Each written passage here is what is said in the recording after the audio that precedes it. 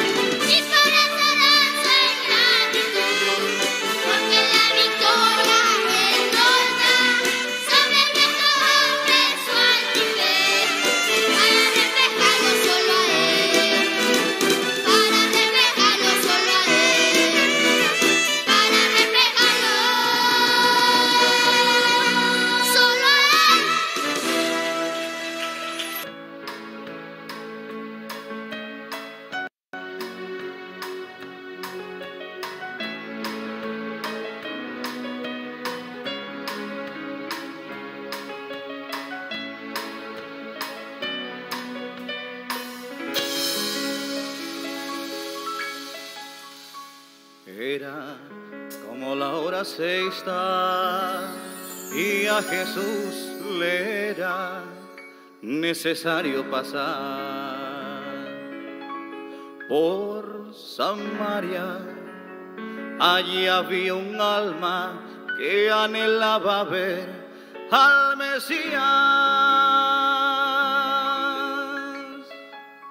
Deseaba saber la verdad sobre la adoración a Dios.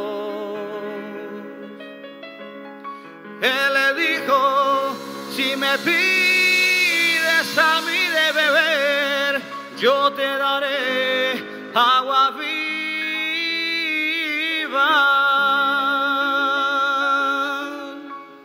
Y será una fuente de agua en ti que salte para vida eterna.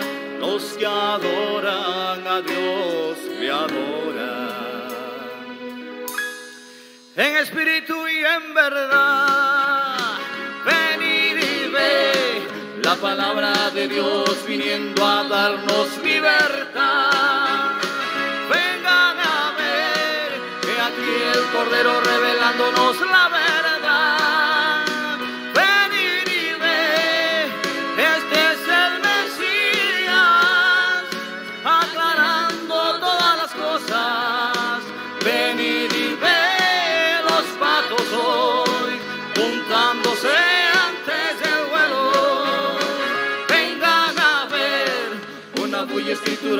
Está tomando lugar.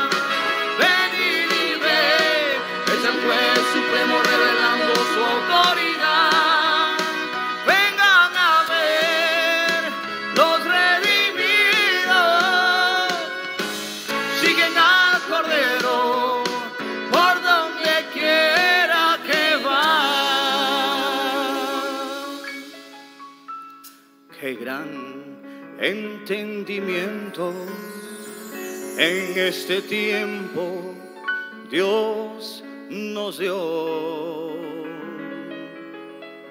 revelándonos el misterio de su propósito triple que él escondió.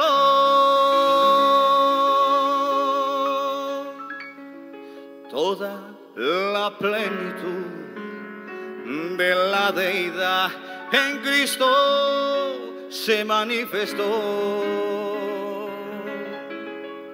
Ahora el Cordero ha abierto los siete sellos solo para su novia,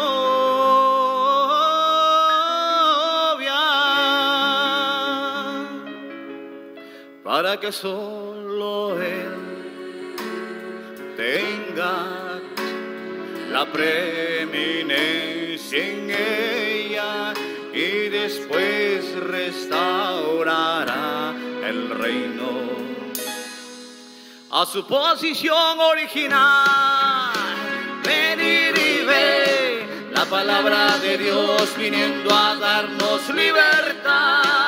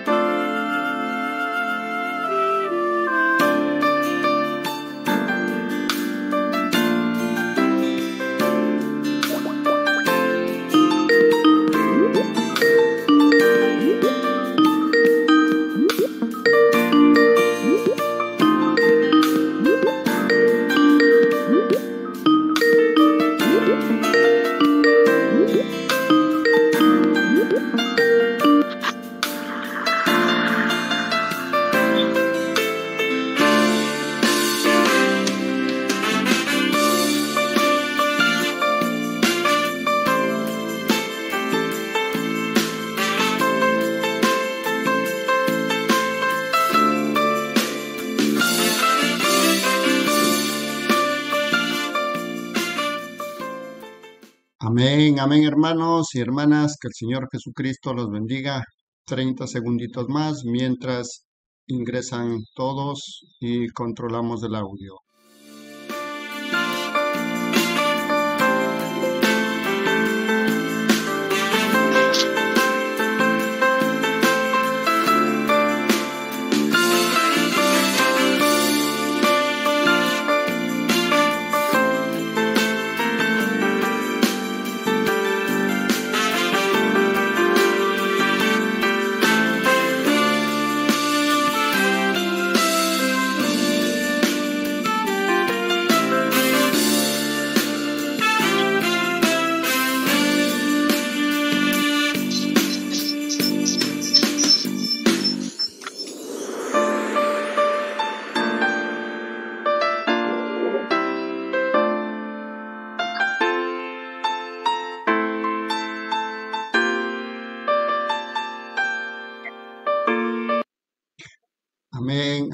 Hermanos y hermanas. Dios le bendiga a todos.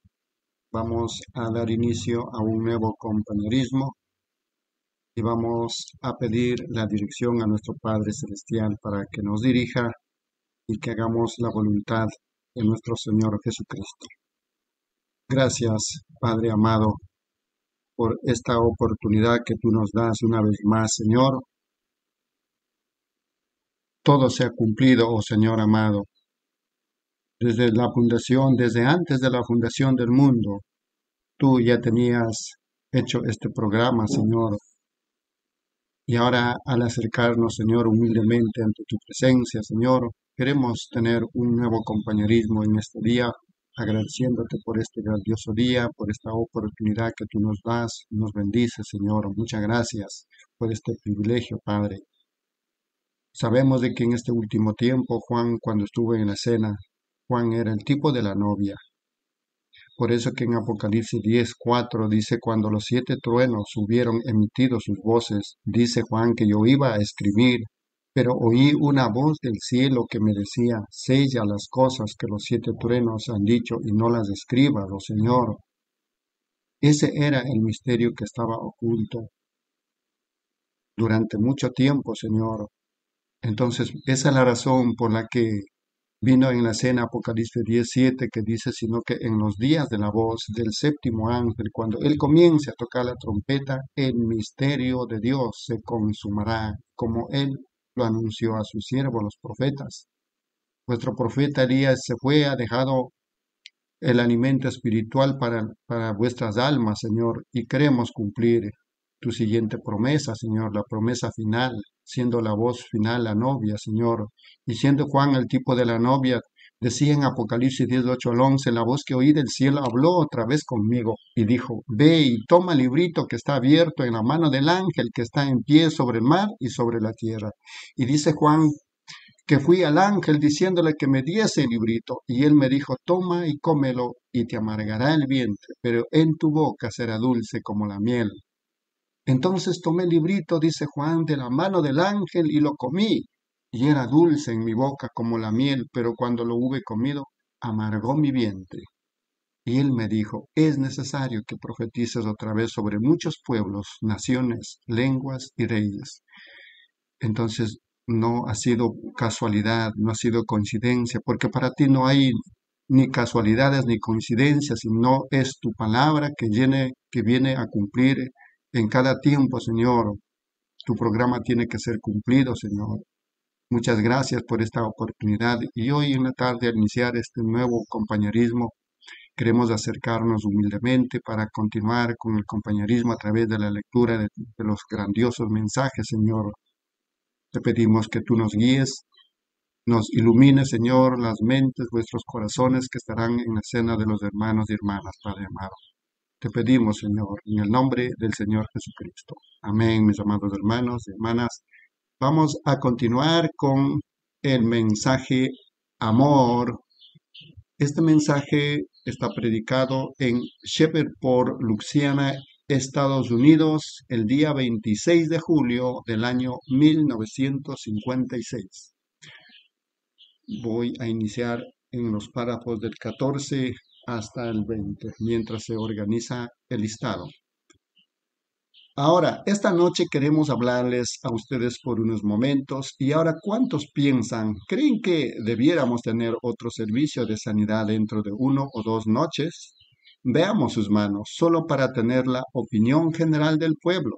Bueno, eso es más o menos mitad y mitad. Muy bien, entonces vamos a ustedes, traigan a sus enfermos otra vez.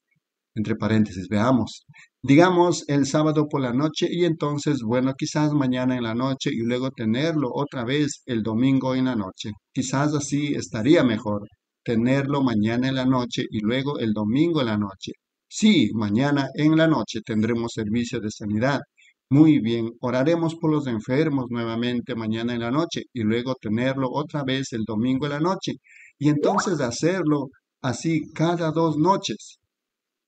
Luego la semana que viene ya hacía la clausura. Tengo que salir de aquí y conducir lo más rápido que sea posible, 3.700 millas hasta la próxima reunión. Allá hasta donde llegan las carreteras, el fin del mundo, hasta Prince Alberta, Saskatchewan. No hay más carreteras después de eso, cruzar hasta el otro lado del mundo. Párrafo 15. La última vez que estuvimos allá, tuvimos 10.000 en una reunión indígenas y esquimales, y así que estamos a la espera de un gran tiempo allí, cinco días, y les diré lo que sucedió. Los predicadores estaban tan enemistados allá y discutiendo el uno con el otro a través de Canadá, al grado que los granjeros se hastiaron de eso. Uno dijo, bueno, si ellos no tienen nada que ver con ella, nosotros traeremos al hermano Branja, pero si ellos tienen algo que ver con ella, nosotros no iremos. Dijeron, si ellos lo tienen, nosotros no vamos a venir, no tendremos nada que ver con ello. Entonces los agricultores se reunieron y alquilaron el auditorio y nosotros ni siquiera tenemos que levantar una ofrenda. Amén. Todo está pagado. Amén. Ahora, eso es el amor de Dios. Los granjeros les están dando el ejemplo a los predicadores. Los corderos de Dios viven en una granja, parece. Amén. Párrafo 16. Oh, yo le amo. ¿No le aman ustedes a Él? ¿No hay algo al respecto que sencillamente les anima el corazón cuando ustedes están meditando en Él? El solo pensar que todo ha terminado ahora y estamos descansando y amando y adorándole a Él y pasando por aquí, arrojándole la línea de vida a todos los que podemos, diciendo, venga con nosotros, hermano, esto es maravilloso, no hay nada semejante. Toda la eternidad, por los siglos de los siglos, todo está concluido ahora. Se acabó. ¿No es eso maravilloso? ¿Cuántos tienen esa esperanza dentro de ellos en esta noche? Levanten sus manos. Oh, vaya, dos terceras partes, más de dos terceras partes de la audiencia tienen esa esperanza bienaventurada dentro de ellos, de, de que ellos están anclados en Jesús. ¡Cuán maravilloso! No hace mucho le pregunté a mi esposa, yo dije, quiero preguntarte algo, cariño. Dije, ¿en qué cosa se coloca el verdadero y genuino valor? Pero creo que les dije eso la otra noche. ¿Cuál era el verdadero valor?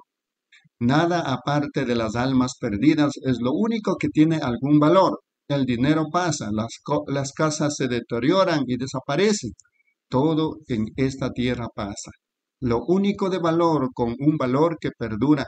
Yo prefiero ver un alma en gloria la cual he ganado para Cristo entre paréntesis, saber que esa luz de Dios gira alrededor de esa alma por toda la eternidad, que mi nombre esté asociado en ese hecho. Que a pesar cada centavo que haya en toda la tierra, pues tendría que perderlo todo. Pero lo que usted envía allá arriba es eterno. Y esa es la razón por la cual nos esforzamos. Amén, gloria a Dios. Mi hermano y hermana perdidos, esta noche sin esperanza, sin Dios. Por eso estoy yo aquí para hablarles, para intentar lograr que ustedes amen al Señor Jesús. Yo deseo leer una porción de su bendita palabra. Antes de que lo hagamos, hablemos con Él en oración. Inclinemos nuestros rostros. Párrafo 17. Hermana, en el órgano, si es tan amable, o en el piano, cualquiera de los dos, denos el tono de habita conmigo.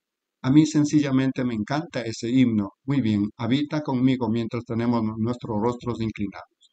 ¿Cuántos quisieran ser recordados en esta oración? ¿Levantarían su mano? Dios le bendiga. Qué bueno. ¿Cuántos hay aquí que realmente no se sienten muy bien en su alma? Entre paréntesis, con todos sus rostros inclinados ahora, solo permitan que el Espíritu Santo y yo veamos. ¿Levantarían ustedes sus manos? Dios les bendiga. Dios les bendiga. Oh, maravilloso. Dios sea como una docena o más. Párrafo 18. Nuestro Padre Celestial, Sencillamente te amamos, Señor, porque tú nos has amado primero a nosotros. Y estamos pensando en esta noche, aquellos que levantaron sus manos ahorita diciendo así en su alma que ellos no estaban sintiéndose bien del todo. Ahora, la razón por la cual ellos dijeron eso fue porque tú les hablaste. Tú dijiste, ninguno puede venir a mí si el Padre no le trajere primero y al que obedeciere esa atracción, yo le daré vida eterna y le resucitaré en el día postrero. Oh Dios, que antes de que este servicio termine, que aquellos que están cansados con sus manos colgando, con el rostro hacia la tierra, caminando, que esas manos débiles sean alzadas, con lágrimas de gozo bajando por sus mejillas, mirando hacia el Cordero de Dios, en gratitud por una pura y santa salvación, concédelo, Señor. Acuérdate de los otros que levantaron sus manos. Algunos quizás estén enfermos, Señor. Sánalos en esta noche. ¿Lo harás? Permite que el Espíritu Santo vaya directo sobre la audiencia en todos los lados y los sanen los enfermos. Salva a los perdidos. Trae cerca a estos, a ti, Señor, aquellos que están un poco descarriados, indiferentes, ellos son tus hijos, sencillamente no pueden hallar descanso en ninguna parte. Que ellos regresen al arca en esta noche. Cambie el espíritu de ellos al de un cordero, dócil y humilde. Vengan al Señor porque lo pedimos en el nombre de Cristo. Amén. Párrafo 20. Un capítulo muy conocido en esta noche para leer un versículo de allí, Juan 3:16, porque de tal manera amó Dios al mundo que ha dado a su Hijo unigénito para que todo aquel que en él cree no se pierda, mas tenga vida eterna. Oren conmigo por esos que levantaron sus manos y por aquellos que están necesitados de Cristo. Quiero que me presten toda su atención por solo 20 o 30 minutos antes del llamamiento al altar y veremos lo que el Espíritu Santo nos dirá qué hacer. Ahora, esta noche voy a hablar sobre el amor, Párrafo 20. Yo pienso que el amor es la fuerza más grande en el mundo. No existe nada más poderoso que el amor. Si yo tuviera que decir en esta noche y fuera un pecador y estuviera parado aquí delante de Dios y Él hubiera dicho, mira muchacho, yo te voy a dar todos los nueve dones espirituales, voy a permitirte profetizar, te daré el espíritu de profecía, te voy a convertir en un predicador poderoso. Te daré la palabra de sabiduría y entendimiento. Te voy a dar el don de hablar en lenguas y de interpretar. Te voy a dar un don de sanidad para que tengas una fe grande por los enfermos. Y voy a hacer todas estas cosas por ti. Te daré todo eso. Oh, no te permitiré terminar ninguna de esas cosas, tener ninguna de esas cosas, pero haré que tengas un amor verdadero en tu corazón yo diría, Dios, dame amor, porque donde, hay lenguas, ellas cesarán. Donde hay profecía, ésta se acabará. Donde hay conocimiento, éste se desvanecerá. Pero donde hay amor, éste permanecerá para siempre. Eso fue lo que impulsó el corazón de Dios a enviar a Cristo a la tierra. Amén, amén, mis amados hermanos. Dios le bendiga a todos. Continuamos con el mensaje amor dedicado el día 26 de julio del año 1956. A continuación, hermana Reina, en los párrafos 21 al 25. Amén, hermanos, Dios les bendiga. Mensaje amor. Párrafo 21. No hace mucho me contaron una pequeña historia acerca de una madre. Una jovencita había estado lejos en un colegio y al regresar ella trajo a una joven junto con ella. Y la muchacha era una de esas cifrinas modernas. Entre paréntesis, así le decimos, ustedes saben. Simplemente una pequeña petulante. Y así que su madre fue a recibirla. Y entonces cuando la jovencita miró alrededor y vio a su madre, la joven que estaba con ella dijo, Oh, ¿quién es esa vieja bruja? Porque ella estaba toda marcada con cicatrices, y la jovencita que había estado lejos ella se avergonzó de decir que esa era su madre, por cuanto su amiguita de estilo propio había dicho que ella se parecía a una bruja. Entonces, cuando finalmente tuvieron que salir del tren, pues la madre corrió hacia la hija y dijo, Oh, cariño, me da mucho gusto verte.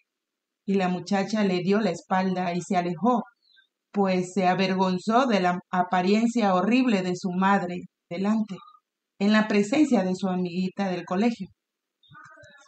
Y resultó que el maquinista del tren que estaba parado allí conocía el caso. Él agarró a la jovencita y le dio la vuelta. Él dijo, María, ¿qué te hace actuar de esa manera? ¿Qué te ha ocurrido desde que has estado ausente? Él le dijo a la muchacha que estaba con ella, dijo, no cabe duda que estás mirando a esa fea madre de ella. Ella dijo, oh, he visto. Párrafo 22. El maquinista dijo, yo he visto el día cuando ella era dos veces más bonita de lo que será su hija alguna vez, pero dijo, resulta que yo vivo en el vecindario y esta muchacha era una bebé en el piso de arriba y su madre estaba lavando en el patio. Y de repente llegaron los bomberos y vinieron a darse cuenta que la casa estaba incendiada y estaba atrapada y no había probabilidades de que la bebé se salvase. Y esta madre corrió a través de esas llamas, una mujer hermosa, corrió a través de las llamas y agarró a la bebé y se arrancó la ropa de su cuerpo y envolvió el rostro de la bebé en ella y regresó corriendo a través de esas llamas. Y eso es lo que la hizo fea a ella. Le arrancó carne de su rostro y por eso es que su ella está toda probada debido a que el fuego le la encogió a ella y dijo, y la razón que tú eres bonita es por eso que ella quedó fea, para que tú pudieras ser bonita. Y luego tú te avergüenzas de ella. Párrafo 23. Yo pensé, cuando escuché esa historia, eso es correcto. Lo que Jesús llegó a hacer por nosotros. Él murió y se hizo pecado, para que nosotros, quienes éramos culpables y pecadores, oh hermanos, usted dice, si esa hubiera sido mi madre, yo hubiera estado orgullosa de ella. ¿Qué acerca de su Señor en esta noche? ¿Realmente se avergüenza usted de él? ¿O está usted realmente orgulloso de que Él lo salvó y está usted dispuesto a dar un testimonio? El amor divino es una de las fuerzas más poderosas. Es una de las fuerzas más poderosas en el mundo. Y cuando el amor divino ha sido proyectado y llega a su fin, entonces la gracia soberana tomará su lugar. Ahora, ese es mi texto, cuando el amor divino ha sido proyectado. Cuando se proyecta el amor divino y éste llega a su fin, al punto que no puede ir más lejos, entonces la gracia soberana vendrá y tomará su lugar. Ahora, ¿Se da usted cuenta, siendo un hijo o hija de Dios, que usted es un creador menor? ¿Sabe usted que usted crea la atmósfera en la que vive? ¿Qué hace que la gente actúe de la manera como lo hace? Es porque, ¿qué hace que a los borrachos les guste estar con los borrachos? Como solía decir mi madre, el antiguo proverbio, y yo creo que es sureño aquí también. Aves de un mismo plumaje se juntan, porque ellos tienen cosas en común. Párrafo 24.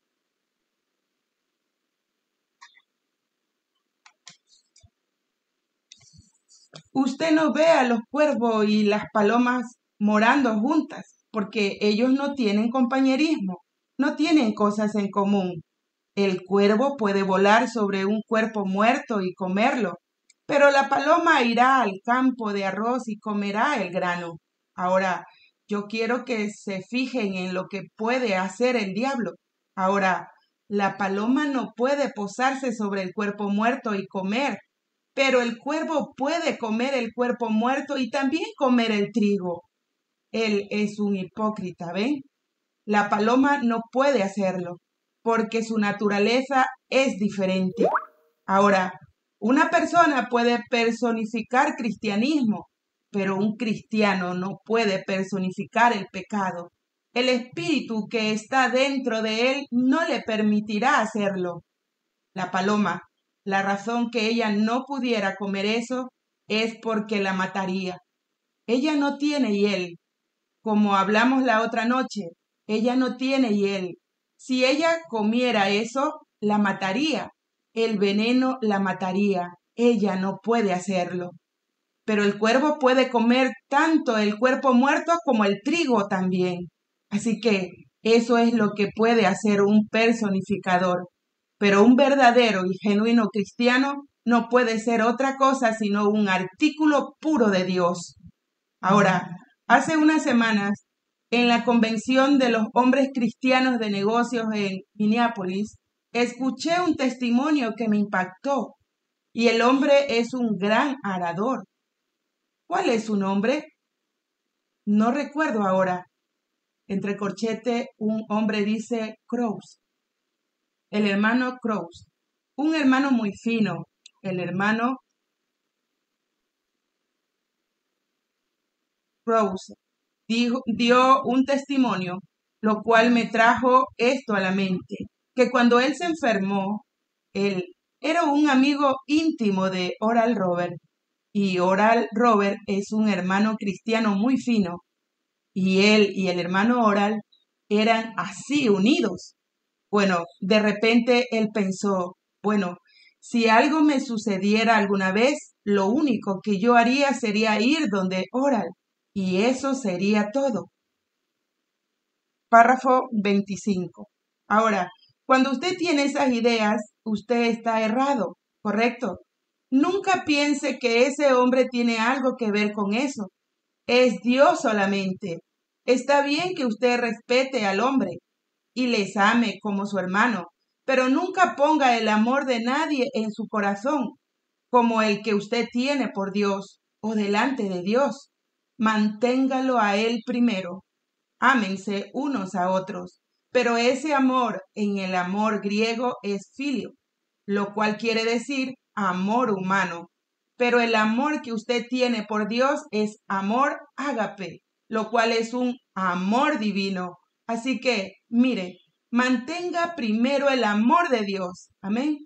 Pero entonces el hermano Krauss dijo que él siempre tuvo una fe muy grande en el hermano Robert un día él se dio cuenta que tenía un problema de riñón, cálculos en el riñón.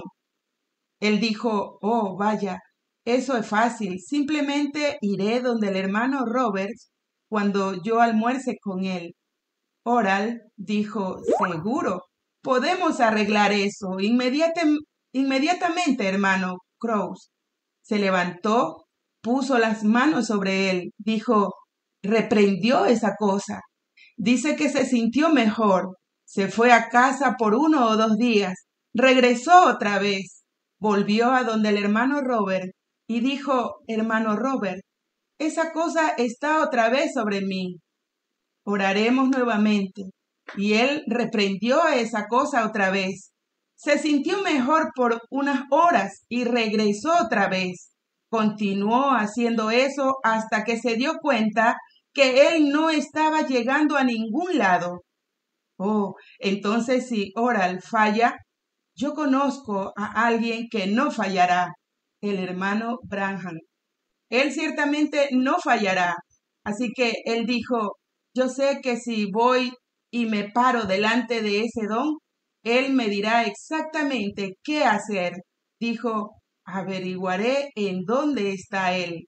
Amén. Dios le bendiga, hermanos. Amén, amén, hermana Reina. Dios le bendiga la lectura. Estamos lecturando para recordar el mensaje Amor, predicado en Jefferport, Luxiana, Estados Unidos, el día 26 de julio del año 1956. Voy a continuar lecturando mientras se realiza la lista para seguir el, el orden. Párrafo 26. Yo me encontraba en Shreveport, Louisiana, en mi última reunión aquí. Él vino al Washington Hotel, él y su adorable esposa, y él dijo, hermano Branham, yo voy a intentar obtener una tarjeta de oración. Ellos se lo dieron a él cada noche. Él nunca fue llamado en la línea. Párrafo 27. Amándolo de la manera en que yo lo amaba. Precisamente cuando él comenzaba a irse, él estaba allí en el vestíbulo. Yo estaba allí cuando él pasó. Él comenzó a llorar y salió y me estrechó la mano. Yo dije, hermano Cruz, yo quisiera que suba a la habitación, venga conmigo. Y fui a la habitación. Y dije, ahora hermano Cruz, oremos. Yo me pararé delante de usted y delante de Dios, delante de Dios y usted, mejor dicho, y veré lo que el Señor le dice. Me humillé delante del Señor, salí como siempre lo hago, para tratar de hallar. Y el Espíritu Santo bajó y me tocó y rehusó decirme una palabra. Yo dije, eso no sucede muy a menudo. Intentémoslo nuevamente. Y volvimos a orar y dije, ahora Señor, si hicimos algo errado, pues tú perdónanos por ello. No es nuestra intención estar haciendo algo errado. Pero el hermano Cruz es mi buen hermano y él desea saber cuál es tu voluntad para él. ¿Me hablarás, Padre? Y ahora yo ofrezco a ti, no a mí mismo, pues yo no tengo nada que ofrecer, pero yo vengo en el nombre del Señor Jesús, por su causa, y ahora el hermano Cruz, mi hermano está parado delante de mí, quien me ha ayudado muchas veces en grandes dificultades y demás cosas. Y nosotros hemos sido hermanos. Ahora, ¿hablará, Señor? Y me humillé delante del Señor y el Espíritu Santo rehusó decir una sola palabra. Entonces nada podía yo hacer. Fue muy raro, como unos dos veces en toda mi vida. Lo vi hacer eso. Párrafo 28. Así que entonces yo no sabía qué decirle. Yo dije, hermano Cruz, yo no lo entiendo. Y dije, yo tengo temor de preguntar otra vez. Así que seguimos adelante y yo oré por él, puse las manos sobre él. Se fue. Y él dijo, sabe, me siento mejor. No tengo dolor en estos momentos. Se fue por eh, aproximadamente como tres o cuatro semanas. Él estaba bien. De repente, una noche comenzó a venir otra vez. Ahora, él dijo, Señor Jesús, yo te amo. Y yo he ido tanto donde el hermano Robert y el hermano Granja. ¿Y qué voy a hacer? Él dijo, ahora, yo no quiero ir a ningún doctor, no quiero ir, pero ¿qué haré? Y así que entonces finalmente él fue llevado a un doctor. Y cuando fue donde el doctor, lo enviaron a la clínica Mayo. La clínica Mayo lo examinó y dijeron, bueno amigo, usted tiene como una probabilidad de mil de llegar a vivir otro mes más. Dijeron, su operación pudiera ser si extrajéramos los cálculos, pero están incrustados en algo. Y dijeron, si nosotros extraemos eso, usted pudiera morir en la operación. Él dijo, usted sencillamente está a punto de morir y tiene una sola posibilidad de mil de llegar a sobrevivir. Bueno, dijo él, déjeme pensarlo. Párrafo 29. Y él ama al Señor. Cualquiera conoce al hermano Cruz. Él es un verdadero cristiano. Él dijo, amado Dios, tú sabes que yo te amo. Yo he hecho todo lo que sé hacer, pues entonces ahora si es mi hora para ir a casa contigo, yo estoy listo para ir. Pero yo te amo y mis últimas palabras para ti son, te amo, y tú conoces mi corazón de que yo te amo. Y él prosiguió para la operación y los doctores vacilaron un poquito en hacerlo. Pero después que la operación fue hecha, él despertó y dice que toda la habitación estaba alumbrada por la gloria de Dios y los doctores no podían entender siquiera lo rápido y lo que había sucedido. Cuando el amor había sido proyectado llegó a su fin. La gracia soberana intervino y tomó su lugar. Lo hará cada vez. Esa es la naturaleza de Dios. Él no puede hacer más nada por nadie, pero cuando usted realmente, verdaderamente lo ama a Él, amarlo a Él no es solo un pensamiento mítico, pero me refiero a que en su corazón Él llega a ser amado para usted. Párrafo 30, por último. Ahora, igual que usted deposita su confianza en Él, Usted le cree a él, así como usted lo cree a su esposa. Cuando yo salgo de casa, no tengo que decir, ven acá, señora Branham, vamos a tener una pequeña conversación ahora. Yo estoy a punto de partir. No tengas otros maridos mientras yo estoy ausente. No hagas esto, eso o lo otro. Y ella dijera, mira, mi querido esposo, eso está muy bien, pero yo quiero decirte a ti, no tengas más esposa mientras estás ausente y vale más que me seas fiel. Nosotros nunca pensamos en eso. ¿Por qué? Porque nos amamos el uno al otro. Yo ni siquiera pienso hacerlo acerca de ello. Yo solo entro y digo, adiós, amor, ora por mí. Dice, yo estaré sobre mis rodillas todas las noches orando por ti, Billy, Dios sea contigo. Eso lo resuelve hasta que yo regreso. Ella no se preocupa por mí, ella sabe que yo la amo, y mientras yo la amo a ella sí, ella no tendrá que preocuparse nunca. Si yo pensara que pudiera hacer algo y escaparme de ello, y yo le cuento al respecto, y ella me perdonaría por eso, yo de todos modos no lo haría. Yo la amo a ella demasiado como para hacerlo. Yo la miro a ella y pienso, esa pobre muchachita de 35 años de edad y completamente canosa se ha parado entre mí y el público, la madre de mis tres hijos. Hay algo en mi corazón que no me dejaría hacerlo. Cuando yo miro a mi Señor y veo que Él murió allá en el Calvario, el amoroso por mí, el poco amoroso, Él, el puro por mí, el impuro para salvarme de una muerte de pecado y de una eternidad en el infierno. Hay algo dentro de mí, aunque yo pudiese escaparme de ello, yo no quiero hacerlo. Yo la amo, sí, Señor, yo la amo. Aun si yo pensara que iría a hacerlo y que Él me perdonaría por eso. Yo no quiero hacerlo de todos modos. Yo no quiero hacer nada para herirlo a Él. Yo lo amo demasiado. Eso es lo que necesitamos tener. Es algo en su corazón. Amor. Oh, dice usted, no me redarguye a fumar. Yo bebo y poco yo. Bueno, hermano, usted no lo ama a Él. Algo ha sucedido. Si usted realmente lo ama a Él. Amén, mis amados hermanos y hermanas.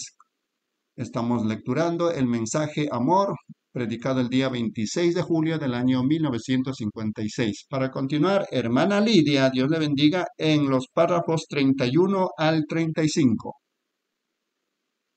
Dios le bendiga, hermanos y hermanas. Continuando con el mensaje Amor del 26 de julio de 1956, párrafo 31. Recuerdo la primera Biblia que tuve. Cuando comencé a predicar al principio, solía estar en la iglesia bautista. Alguien me preguntaba, hermano Urana, ¿cree usted que fumar es malo? ¿Cree usted que beber es malo? Y yo escribí una pequeña respuesta en mi Biblia. Yo tenía que responderle al hombre. Yo dije, no me hagan preguntas tontas. Resuelvan esto en su mente. Si ustedes aman al Señor con todo su corazón, ustedes no fuman, mascan tabaco, ni beben ningún licor. Eso todavía es válido en esta noche. Correcto. Si ustedes lo aman a Él, aunque ustedes pudieran hacerlo y salirse con la suya, ustedes de todos modos no lo harían. Si lo aman a Él, eso es lo que hace el verdadero y genuino amor agape. El cristiano ama al Señor y Él lo ama a Él de, la, de tal manera que no hay nada que nos pueda separar del amor de Dios, que es en Cristo Jesús. Pablo dijo, ni la muerte, dolor, ni peligros, ni prisiones, ni nada nos puede separar del amor de Dios que es en Cristo Jesús. Oh hermanos, el verdadero y genuino y hermano mío, cuando usted obtenga eso en su corazón, ese tipo de amor, eso le ganará cualquier otra cosa que usted pueda sustituir. Así es, a mí no me importa cuánto usted haya hablado en lenguas, cuánto haya gritado, cuánto grandes servicios hayan llevado a cabo o en cuántos haya estado, que también su nombre esté en el libro de registro. Cuántas veces haya sido bautizado y de qué manera. Jamás valdrá de nada hasta que ese verdadero y genuino amor del Espíritu Santo se anca en su corazón, a tal grado que usted lo ame a Él por encima de cualquier otra cosa que exista en el mundo. Correcto. 32. Ponemos tanto énfasis en la evidencia del Espíritu Santo el metodista dice que uno tiene que gritar antes de recibirlo. Muchos metodistas gritaron y no lo tenían. Los pentecostales dijeron que uno habla en lenguas cuando lo recibe. Muchos de ellos que hablaron en lenguas no lo tenían. Eso es correcto. Pero hermano, cuando usted llega a un lugar en que tiene amor, eso jamás fallará. Eso es correcto. Si mi esposa confía en mí porque yo le dé a ella 10 dólares cada vez que saliera, bueno, hermano, esa no sería muy buena señal de que yo la amara a ella, de que yo sería verdadero o fiel. Pero cuando ella sabe que yo la amo, cuando yo sé que ella me ama a mí, entonces hay una confianza plena entre ambos, ninguna preocupación en lo absoluto. Entonces, cuando usted tiene perfecto amor de Dios en su corazón, usted no cuestiona a Dios acerca de nada. Cuando la Biblia dice, yo soy Jehová, que sana todas tus dolencias, usted dice, amén Señor, eso es correcto, esa soy yo. Esperar en la ciudad de Jerusalén hasta que seáis investido con poder de lo alto. Ese fui yo, Señor. 33. Pedro dijo, arrepentíos cada uno de ustedes y bautícese en el nombre de Jesucristo para la remisión de pecado. Ustedes recibirán el don del Espíritu Santo. La promesa es para ustedes y para vuestros hijos para los que están lejos, para cuanto el Señor nuestro Dios llamare. Amén, Señor, ese soy yo. Eso lo concluye. Cualquier cosa que Dios diga, usted lo ama a Él tanto, usted lo cree. Oh, me siento bastante religioso en estos momentos. Pensar que el amor perfecto echa fuera todo temor. Usted no tiene miedo de nada. Usted solo está descansando, usted no está. Oh, yo pudiera descarrearme mañana, yo pudiera descarrearme la próxima semana. Yo no me preocuparía acerca de eso. Yo no estoy tratando de resistir. Él resistió por mí y él puso un amor en mi corazón que se sostiene allí. Es él sosteniéndome a mí, no yo sosteniéndolo a él. Si fuera yo sosteniéndolo a él, yo probablemente me soltaría. Pero mientras que él me esté sosteniendo, él nunca me soltará. Él prometió que no lo haría. Nunca te dejaré ni te desampararé. Amén. Oh, el que oye mis palabras y cree en el que me envió, tiene vida eterna y no vendrá a condenación, mas ha pasado de muerte a vida. Yo, yo aclararé solemnemente mi alma. Yo anclaré solamente mi alma sobre esas palabras de Dios y me pararé firme y diré, mientras que yo sepa que haya algo dentro de mí haciéndome amar tanto al Señor Jesús que yo no deseo hacer lo malo. Yo estoy bien anclado. Amén. Hay algo allí dentro. Si yo procurara decir, bueno, dejaré esto y dejaré aquello, yo dudo eso.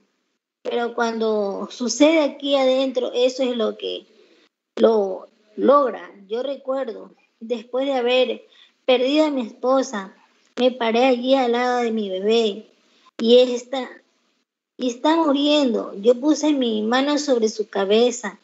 La madre acababa de ser llevada del hospital donde ella murió y fue llevada a la morgue. Un hombre vino, dijo, Billy, te tengo malas noticias. Me fui a casa, yo estaba llorando acostado en la cama. Dijo, te tengo malas noticias. Yo dije, ¿qué? Lo sé. Ella acaba de morir hace un rato, hermano Frank. Dijo, eso no es todo. Su bebé está muriendo también. Salí corriendo al hospital, una bebita pequeñita, ocho meses de nacida en sus pañales, y ella, yo acostumbrada a sonar el canso en mi camioneta y demás al llegar, ella hacía uh y levantaba sus bracitos para mí. Cómo amaba yo a esa niña, mi primera hijita, y yo fui rápidamente al hospital. La enfermera dijo, usted no puede bajar allí, señor Ana, yo esperaré hasta que ella yo esperé hasta que ella se fue, di la vuelta detrás de la puerta y bajé de todas maneras. Dijo, ella tenía meningitis, meningitis tuberculosa. 35. Entré a la habitación, ahí estaba ella acostada, allí. Las ventanas estaban abiertas y las moscas se les había metido en los ojos. Yo espanté las moscas y le puse el mosquitero encima. La miré de nuevo. Ella estaba tendida allí, temblando un poco. Yo dije, Cherry, cariño, ¿conoces a papi? Mi pobre corazón estaba roto. Mi esposa tendida ya en el, féretro, la madre de la bebé, y su bracito se movía hacia arriba y hacia, hacia abajo. Ella había sufrido tanto que sus ojitos se estaban cruzando. Uno de sus ojitos azules ya estaba cruzado.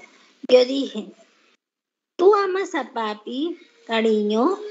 Papi vino a, y yo la vi temblando. Sé que ella reconoció que yo estaba allí. Me arrodillé, dije, oh Dios, oh yo la amo. No te la lleves.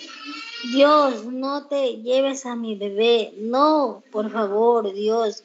Y en ese momento miré hacia arriba y allí venía una sábana negra desdoblándose, bajando de esa manera. Yo sabía que él se la iba a llevar. Puse mi mano sobre su cabecita. Yo dije, el Señor dijo, dio, el Señor quitó. Bendito sea el nombre del Señor. Dije, Dios, tú me la diste, tú la estás tomando otra vez.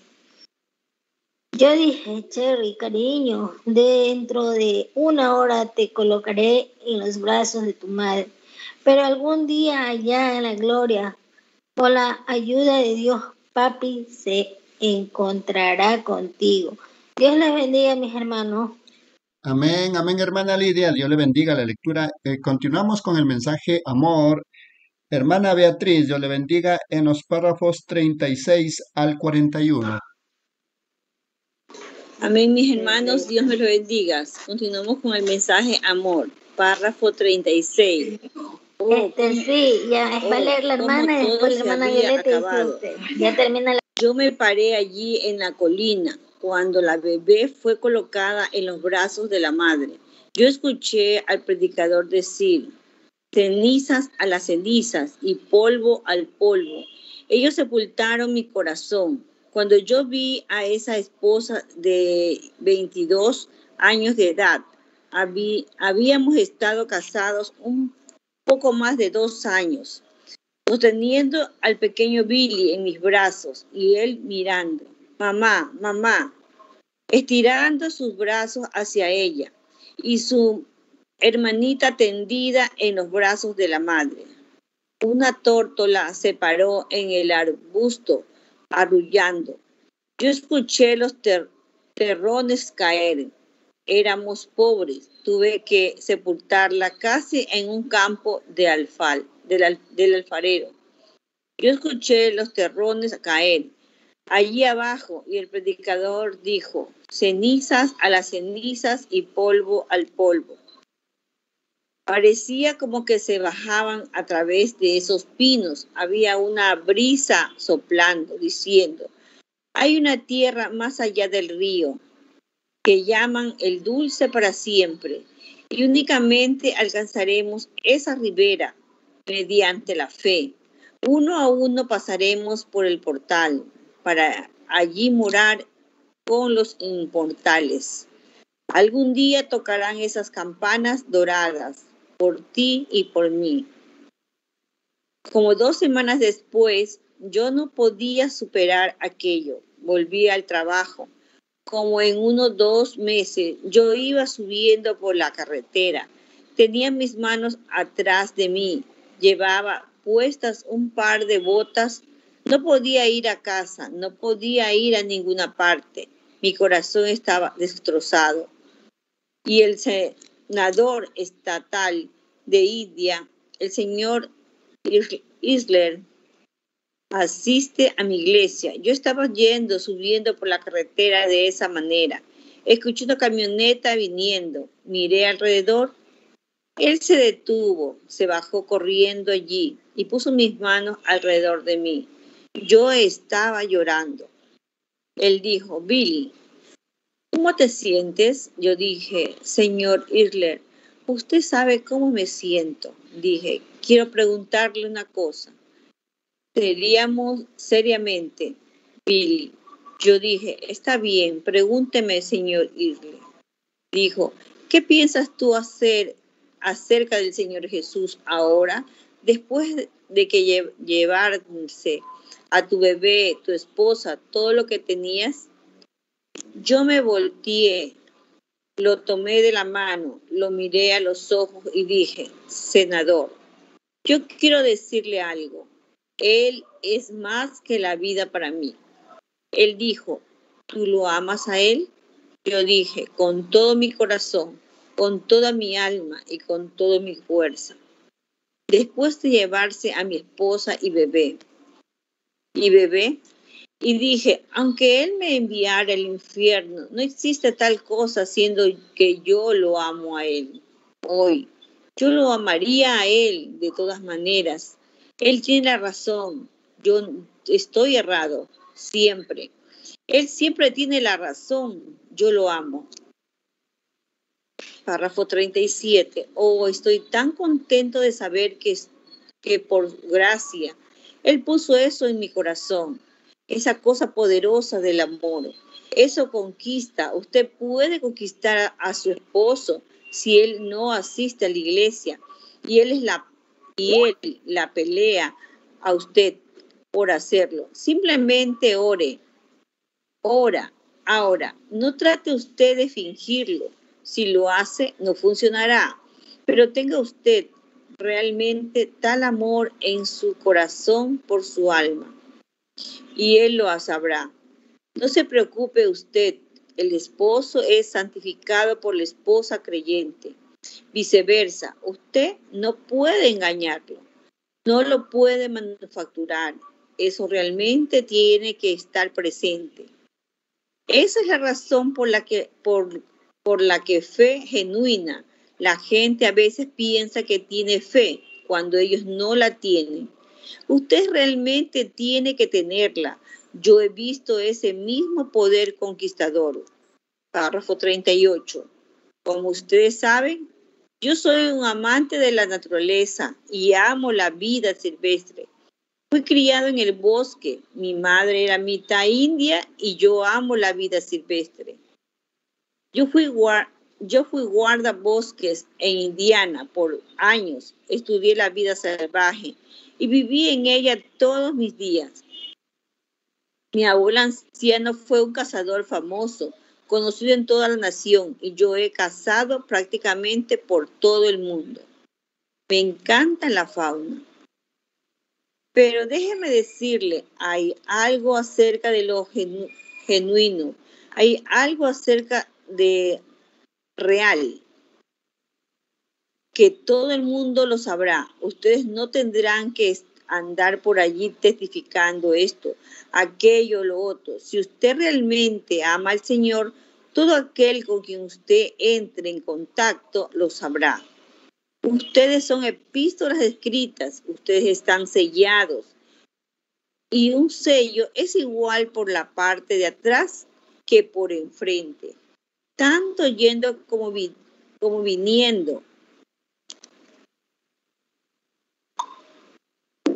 La gente sabe que usted es un cristiano, usted camina diferente, vive diferente, actúa diferente. Usted es diferente cuando usted se, se convierte en un cristiano. Recuerdo una vez cómo es que yo he visto la vida salvaje ser conquistada por el amor de Dios. ¿Cuántos alguna vez han leído mi libro titulado Un hombre enviado de Dios? que fue escrito aquí por el hermano Lindsay. Muchos lo han leído. Párrafo 39. Recuerden al maniático que cayó sobre mis pies en la plataforma aquella noche. ¿Recuerdan esa historia? ¿Qué sucedió? Yo desearía poder explicar eso. Ha sucedido muchas veces en mi vida. Lo veo suceder cada vez que un milagro es obrado es algo, uno tiene que entrar en eso. Hace unas cuantas semanas, el hermano Jackson y yo estábamos parados en la plataforma ante miles y miles de personas allá en México y un pobre hermano anciano mexicano subió. Él estaba ciego y él tenía un chal puesto encima, sucio, polvoriento, y el pobre anciano traía una pequeña cruz en sus manos para rezar un, Ave María o algo así. Yo le dije que eso no era necesario. Así que él subió y él quería saber. Subió hasta donde yo estaba. Yo miré al anciano, vi su cabello canoso por debajo de su sombrero de paja donde él se lo había jalado hacia abajo.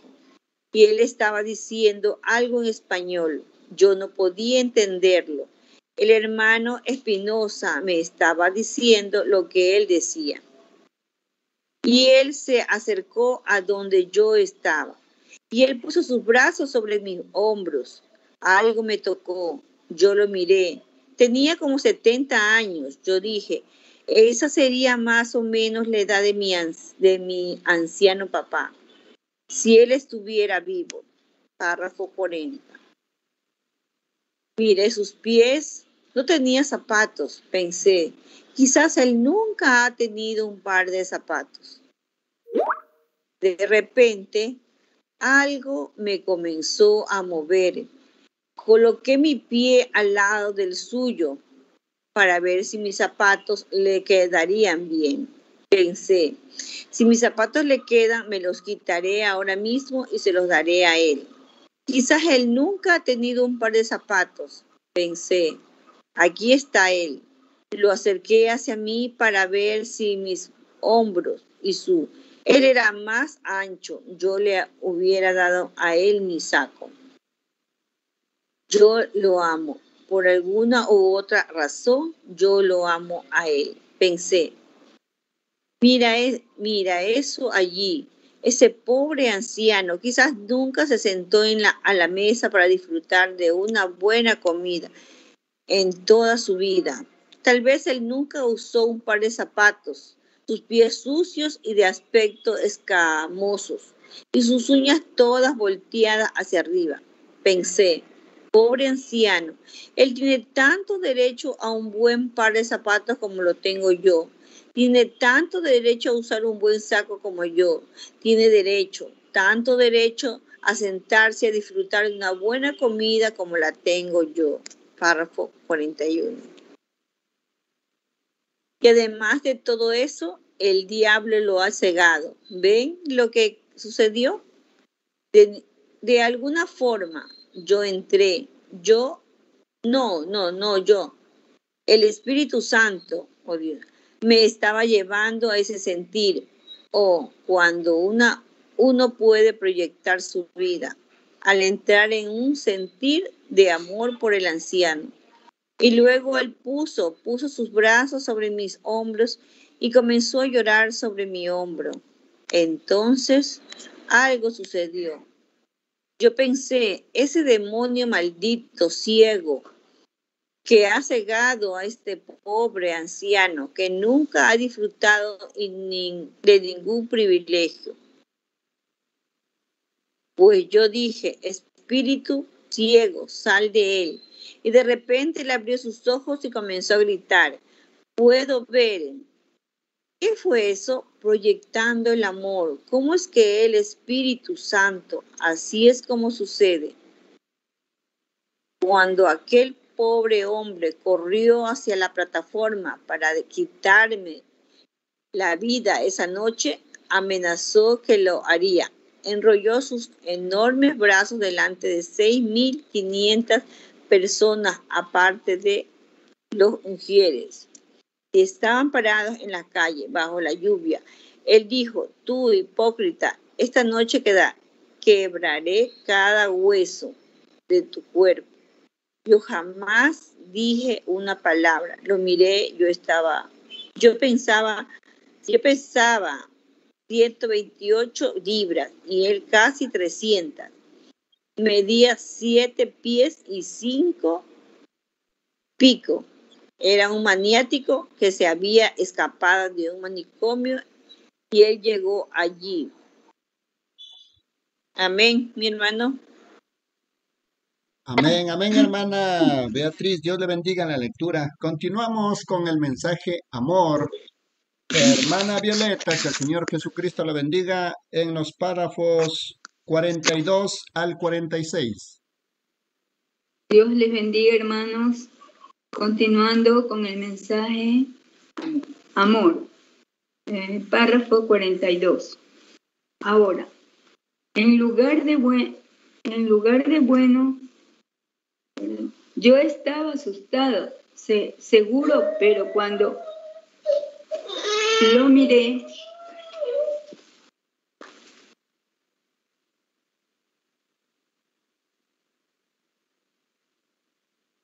Pero cuando lo...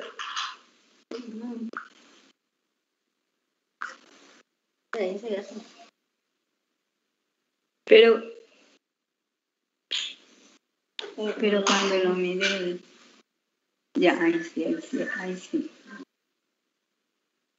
Pero cuando lo miré, algo comenzó a suceder en vez de, en vez, en, vez de pensar,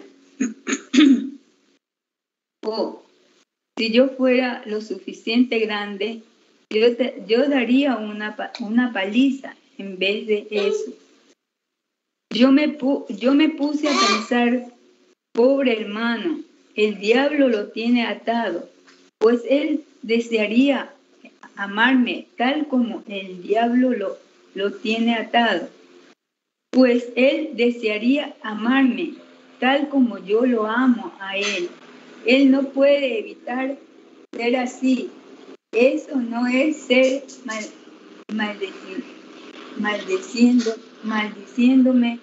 Eso es el diablo. Así es cualquier hombre. No es el hombre que lo está maldiciendo a usted, con el, con el cual usted quiere enfadarse y matarlo un poco, pocos minutos. El diablo, haciendo a él hacer eso, no es, no es hermano, es el diablo por el cual está poseído.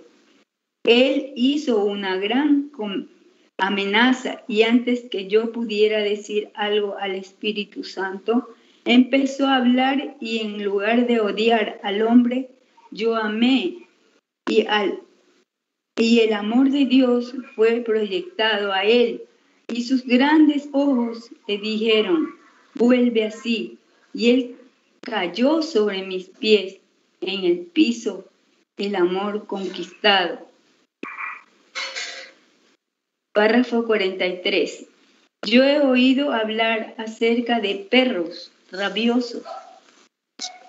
Res- resal- resalta ser que, perdón, re- resulta ser que yo no, no le temo a un, a un perro que hace que el perro lo muerda.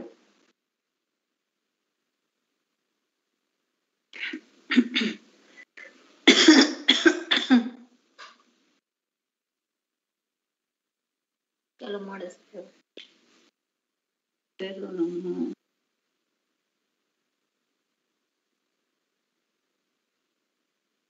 Se falló.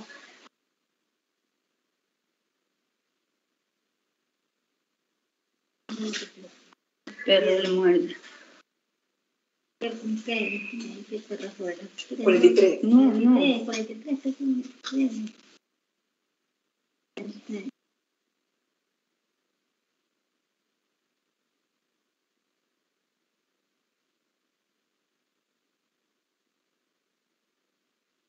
Que un perro lo que un perro rabioso resulta ser que yo no le temo a un perro. Lo que hace que el perro lo muerda a usted es porque usted lo le tiene miedo. Ahora puede que eso parezca algo tonto, pero yo no, pero, pero no lo es. Los, los animales salvajes ya nunca yo nunca he visto, solo al que le teme y, y es porque yo los amo, pero yo he estado cara a cara con esos pe- perros y todo lo demás, pues yo amo a los animales. Uno tiene que tener eso. Uno no puede al- alardearlo. Al- ¿Alguna vez ha visto usted levantar su y salir? Él, sabe si, si usted le tiene miedo o no. No tiene usted en- en- engañarlo. Usted, usted pudiera haber engañado a, a su vecino. Pero usted no puede engañar al perro. Él sabe y ustedes no pueden engañarlo a Dios. Y yo digo esto con toda reverencia. Ustedes no pueden engañar al diablo. A mí no me importa cuánto ustedes griten, cuánto, cuánto ustedes... ¿Cuánto vocifera? ¿Cuánto vocifera? Los cuatro se me fue. vociferen, escribe vocifere, vocifere. Vociferen y zapateen. Él se quedará allí mismo, pero cuando usted, ustedes, ustedes no, no tienen que decir mucho el saber si eso es real o no. Aquellos discípulos estaban gritando, suficiente vociferando, tratando de sanar al lunático. Jesús dijo, sal de él. ¿Qué sucedió? Los discípulos fueron derrotados, pero eso, eso, ese demonio tuvo que re- re- reconocer de dónde po- procedía. Esa vez era Esa voz. esa voz de las de las fuentes de la paloma de Dios estaba pa- pasando posando, él, reco- él reconoció esa vibración cuando esta, cuando esta salió de él. Él supo que ese era más que un discípulo. Él supo que era más que Moisés, que, que Moisés pecará. Pero cuando él dijo, si tú eres el Hijo de Dios, haz un milagro aquí delante de mí, muéstramelo. Él dijo, gritó, está no solamente de Escrito eh, está. escrito está, no solamente de pan vivirá el hombre. Él supo, él supo entonces que no se había entre- encontrado con Moisés. Había algo al respecto, correcto. Hace algún tiempo, mientras yo era guardabosque, un indiano en Indiana, en la granja de Bucks, donde está la antigua cantera, donde está la antigua cantera, donde la que está en el cementerio.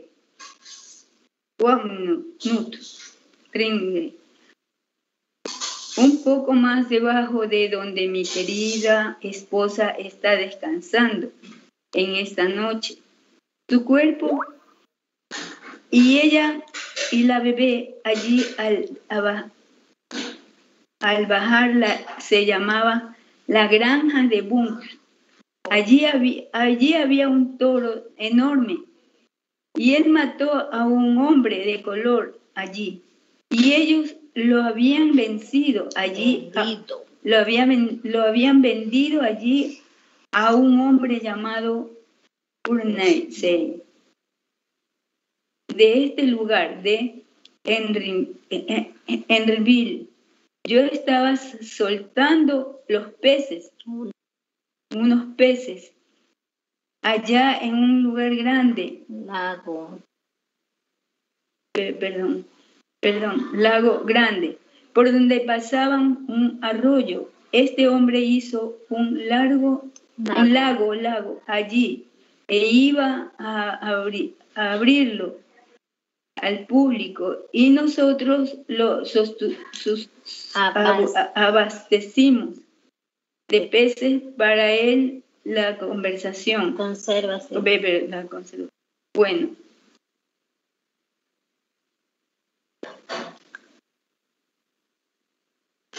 Nosotros sabíamos, debíamos. debíamos cargar una pistola para donde quiera que íbamos, eso era ley, teníamos que hacerlo. Entonces sucedió que supo de un hermano al otro lado del campo que estaba enfermo. Así que pensé, creo que iré allá para orar por el, sol. Por él. Por el soltare soltaré, soltaré. Estos peces me, me, desabroché, me desabroché la pistola y la arrojé en el carro y fui allá, donde él. Comencé a cruzar el campo hacia donde estaba el hermano y olvidé, perdón, olvidé ese toro asesino, estaba en el campo Así que mientras iba cruzando el campo hacia allá, cruzando hacia allá, había solo un pequeño montón de arbusto allí, pequeños robles, y sucedió que yo había estado como a 200 yardas o 300 yardas de la cerca, como a la misma distancia del otro lado. Pantano. Había, había un pequeño pantano. Había un pequeño pantano allí en medio y de repente a unos 30 pies de mí. Este toro asesino se levantó y allí estaba yo. Primero me busqué la pistola para, pero no la tenía. Ven, Dios hace como Dios. como Dios hace todo, como Dios hace todo perfectamente. No tenía pistola. Hacia la cerca estaba demasiado cerca de mí. No había árbol donde subirme. La muerte acechaba mi La muerte acechaba delante de mí. Él era un asesino. Había advertencias en todo lado, en todos lados. No, no entre aquí, no entren, no entren aquí. Bueno, olvidé y allí estaba yo. Bueno, solo me quedaba una sola cosa por hacer. Enderezarme y no morir como un cobarde, morir como un hombre. Yo me enderecé, pensé, no, este... Bueno, perdón, perdón. Este es el fin, me parece. Me enderecé. Me, me enderecé. No sabía, perdón, no había necesidad, necesidad de tratar de ir él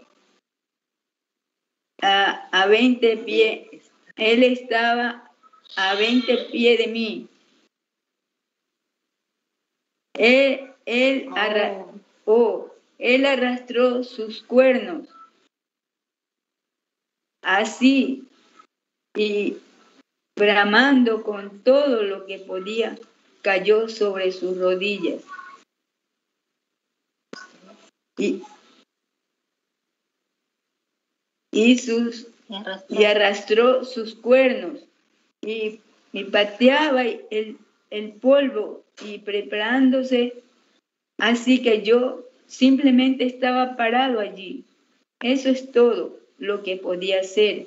Pensé, bueno, ciertamente haré esto, no moriré, no, no, como un cobarde, perdón, como un cobarde. Miré, mos- Morir. moriré mostrando el amor de Dios en mi corazón. Y miré otra vez a ese, a ese toro y de repente algo sucedió.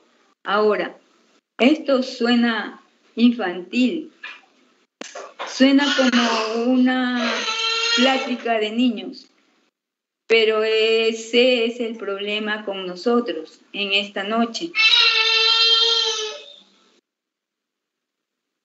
Nosotros intentamos ser adultos en Dios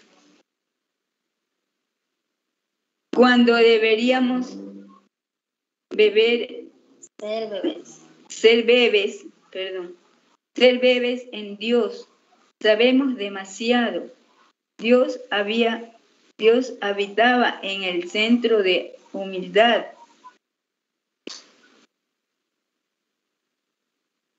Y simplicidad. y simplicidad. Alguien llamó, alguien llamó. Simplicidad es-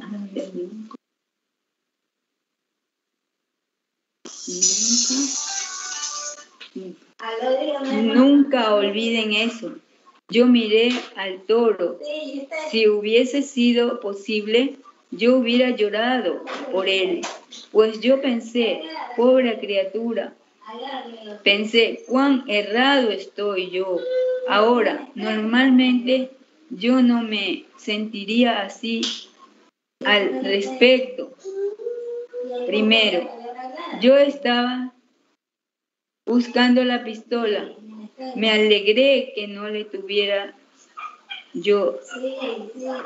Lo, yo lo habría matado y entonces habría ido a pagarlo,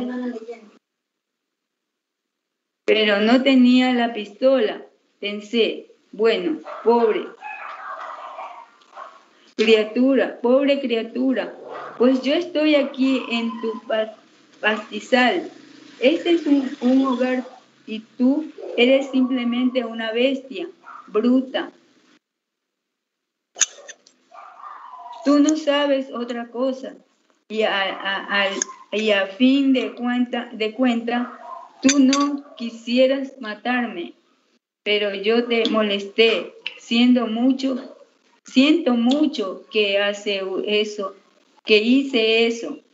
No me, no, no fue mi intención molestarte hablando así como lo estoy haciendo. En estos momentos eh, yo no podía evitarlo. Había algo en mí hablando. Oh, hermanos, es una lástima que tengamos que salir de eso. Es cuestión de simple, es, es es cuestión de simplemente someterse a ellos. Dios sencillamente tomó el control y el toro, rugiendo y bramando, él bajó su cabeza. Yo dije, oh siervo de Dios, voy, perdón, ahora, siervo de Dios, voy en camino a orar por un hombre enfermo que está por aquí muriendo y yo crucé el campo aquí, solo está tu hogar. Siento mucho haber estado en, un, en tu hogar. Es entrado en tu hogar. Ese fue lo que yo hice, entrar como un intruso en su hogar. Eso era todo, el hogar que él conocía. Ahora, deténganse y piensen eso. Eso es correcto. Yo dije, yo entré en tu casa, te interrumpí, lo siento, tú perdóname, yo cruzaré el campo, no, no te molestaré, dije, ahora, en el nombre de Jesucristo, nuestro Creador, ve allá y échate otra vez. Yo no te molestaré y ese toro corrió hacia mí tan rápido como podía y cuando llegó como a seis o ocho pies de mí, yo no tenía más temor del que tengo ahora, que del que tengo parado aquí. El amor perfecto echa fuera todo temor. Amén, amén, amén, amén. A mí no me importa si la muerte lo está mirando a usted cara a cara. Usted puede cantar día feliz, día feliz, desde que Jesús mis pecados lavó. Amén, amén. Aleluya. Amén, amén, gloria a Dios. Es realmente un verdadero privilegio para todos nosotros lecturar estos gloriosos mensajes. Para recordar, estamos lecturando el mensaje Amor, predicado el día 26 de julio del año 1956. Que el Señor Jesucristo lo bendiga. Hermana Tatiana, por favor, puede continuar en los párrafos 47 al 51. Amén. Dios le bendiga, hermanos. Continuando con el mensaje amor del 26 de julio de 1956, el párrafo 47. Con razón, Pablo podía pararse frente a la muerte y decir, oh muerte, ¿dónde está tu aguijón? Sepulcro, ¿dónde está tu victoria? Seguro. Él había aprendido acerca del amor de Dios a través de las tribulaciones el sufrimiento produce paciencia. Obra la tribulación produce paciencia. Por supuesto, ahora la paciencia hace el amor, la confianza. Y cuando ese toro llegó como a seis u ocho pies de mí, él sencillamente estiró sus patas y se detuvo. Y él me miró. Él miró para acá y para allá, tan agotado. Simplemente se aquietó, caminó y se echó. Yo caminé como cinco pies, como cinco pies de ese toro, y él ni siquiera se volteó y me miró. Yo caminé y salí del pastizal. ¿Qué es? Es el amor de Dios, el poder de Dios. Usted dice, hermano Abraham, yo no creo esa historia. Bueno, usted no tiene que hacerlo, pero es verdad. El mismo Dios que pudo cerrar la boca del león en la cueva de los leones, para Daniel puede ciertamente domar a un toro en unos cuantos minutos cuando el amor de Dios ha sido proyectado. Amén. Luego, cuando yo amo al Señor y el amor en mi corazón fue proyectado hacia ese toro, entonces cuando el amor ha llegado a su fin. La gracia soberana y divina de hace presente, se hace presente para tomar su lugar. Aleluya. Oh hermanos, entonces yo no temeré cuando venga la muerte ¿Cómo quiero yo amar al Señor que cuando llegue al lugar en donde todo se haya terminado, la gracia divina será presente algún día? y me llevará al otro lado del río Jordán, más allá a una tierra mejor donde no hay enfermedad, ni muerte, ni dolor. Yo amo al Señor, ustedes aman al Señor. No hay nada, ninguna enfermedad, ninguna dolencia, ninguna otra cosa nos puede separar. El amor de Dios sigue adelante y cuando usted lo ama a Él y llega al final en donde el amor ya no puede actuar a favor suyo, la gracia soberana tomará el lugar del amor. Amén. Párrafo 48. No hace mucho, en mi patio de enfrente, yo estaba cortando el césped con una podadora, una segadora eléctrica, y yo cortaba como dos tramos y salía otro montón. Llegaba alguien para que orara por ellos y yo corría alrededor de la casa. Entraba rápidamente, me quitaba mis overoles y me ponía ropa. Yo oraba por ellos. Quizás estaba allí una hora o más.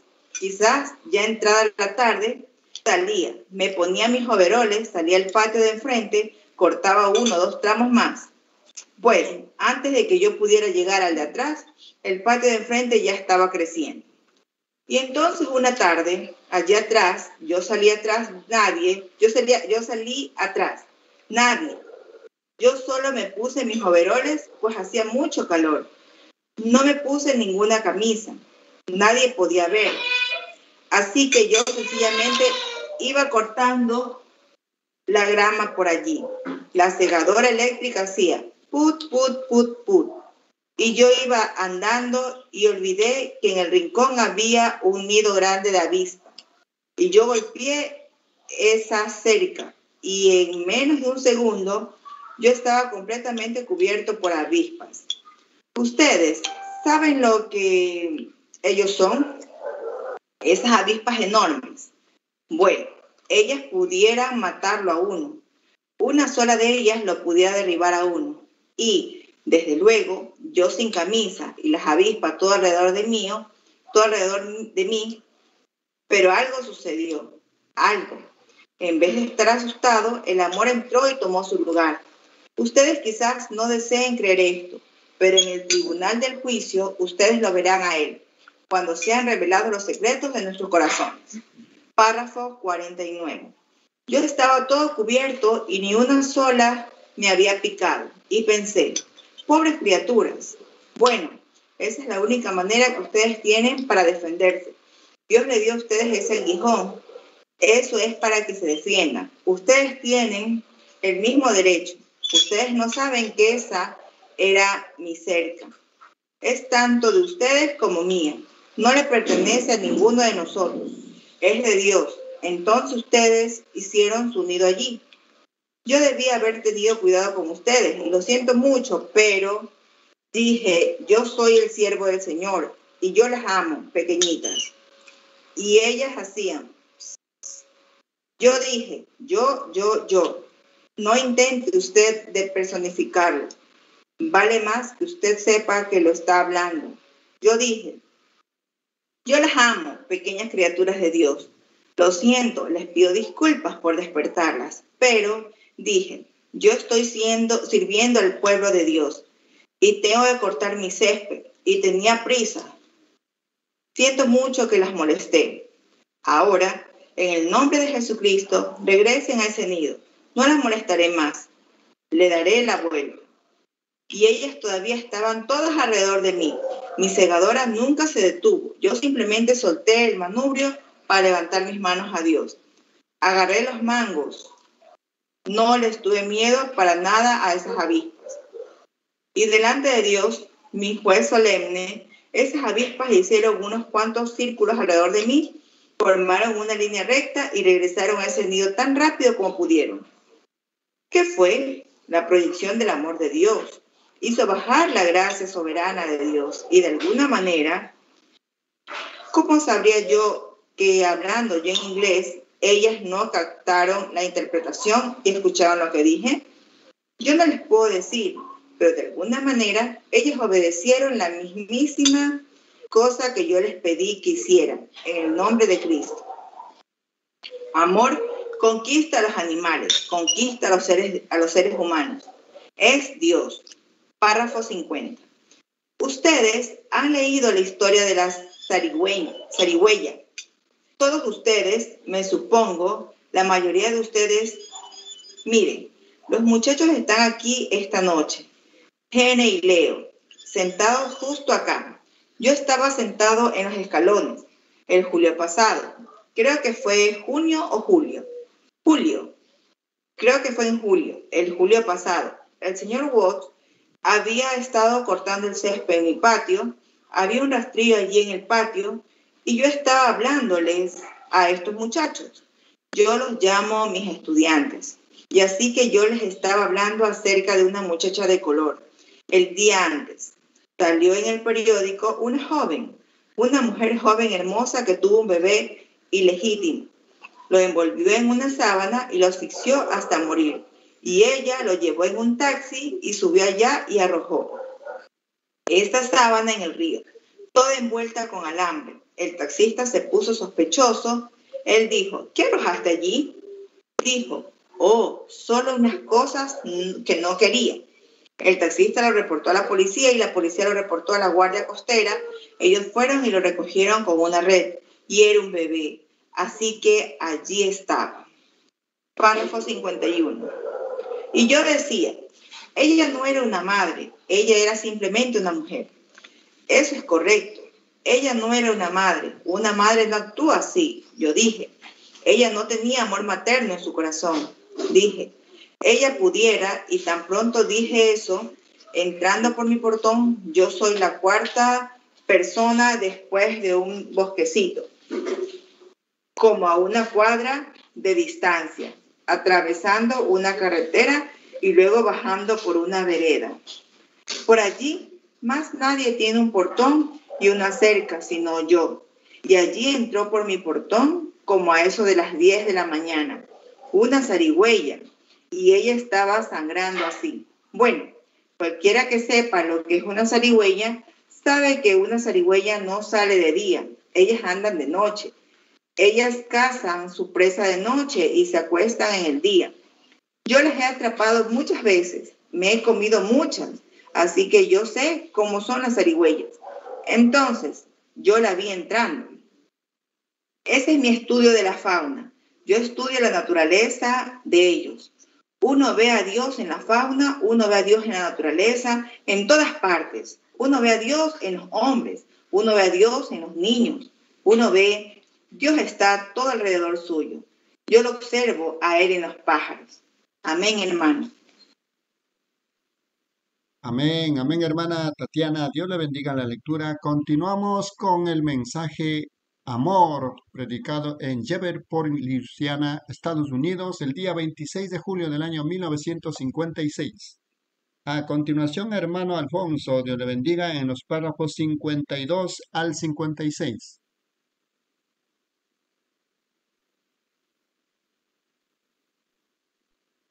Amén, hermanos. Dios les bendiga. Vamos a continuar con el mensaje Amor, párrafo 52. Alguien dijo, mi vecino allá tenía un radio prendido.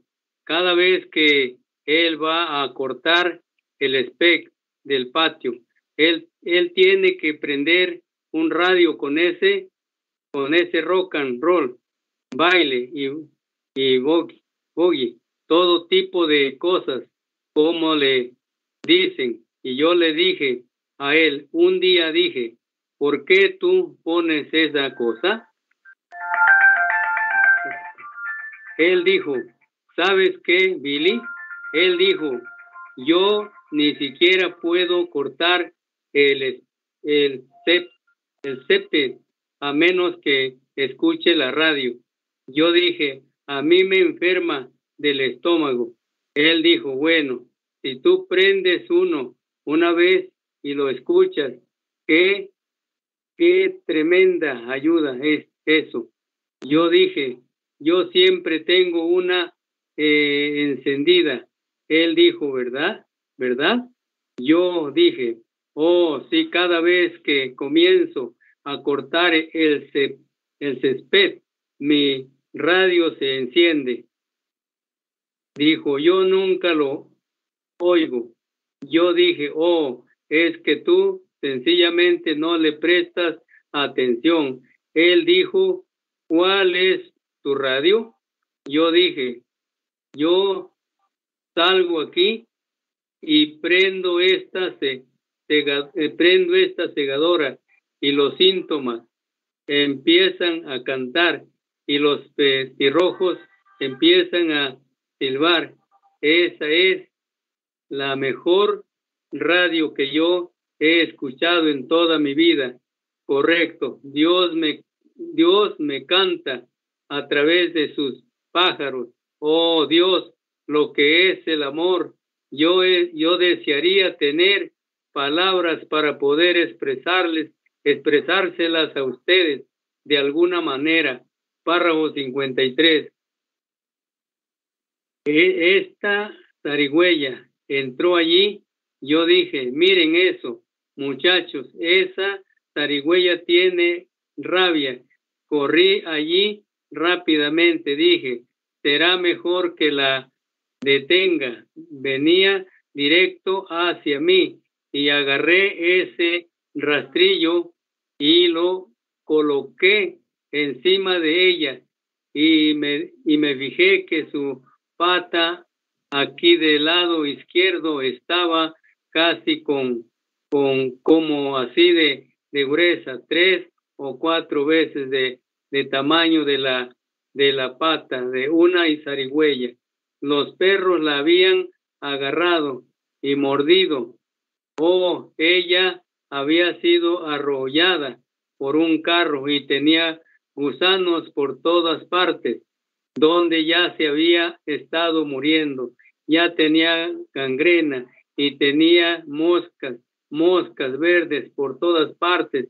Y yo dije, oh, aquí está él, problema, está, está herida, no tiene rabia. En ese momento la tenía pisada con el rastrillo, esos rastrillos grandes de jardín y él, el señor Bogdes se acercó del otro lado del campo. En ese momento el señor Ilmore, el lechero, llegó al portón. Yo dije, miren, muchachos, N y Leo, aquí yo dije, vengan aquí, quiero mostrarles algo, esta zarigüeya. Y resultó que miré y la zarigüeya y el canguro son los dos únicos animales que tienen bolsa donde cargan a sus bebés.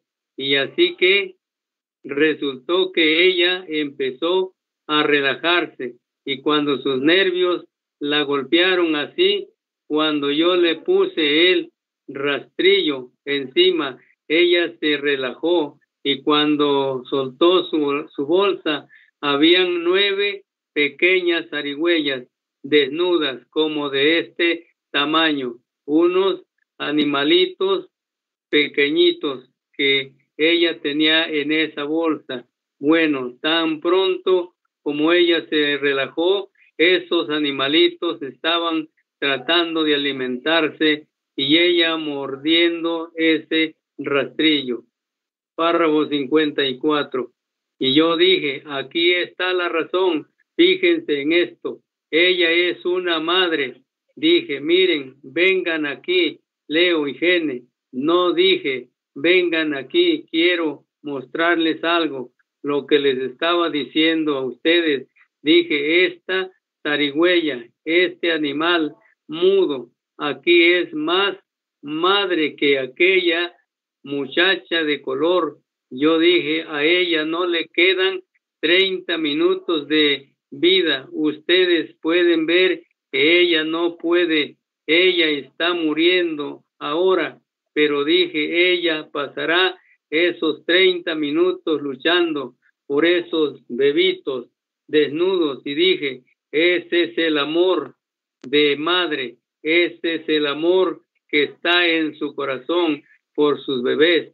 Dije, ella morirá por esos bebés. Y en ese momento, la señora Boudes, ella es veterinaria, ella llegó allí y el señor el señor y yo se, se las mostré a ellos y el señor Ilmore. Había cinco o seis de nosotros parados alrededor mirando y entonces yo dije, párrafo 55, la señora Boxes dijo, bueno, Billy, dijo, ahora la única cosa que se puede hacer es matarlos, dijo, porque la zarigüeya tiene la boca redonda. Usted sabe y dijo, no se puede alimentar de biberón. Ellos son demasiados pequeños de todas maneras, dijo. Mire, mate a la, a la madre y luego tome los pequeñitos y golpéelos contra el suelo. Dijo, ellos sufrirán terriblemente bebiendo la leche de ella de esa manera. Dijo, ella está muerta y yo la vi a ella muriendo, mordiendo eso. Yo dije, ella no está muerta. Dijo, pero ella morirá en unos minutos.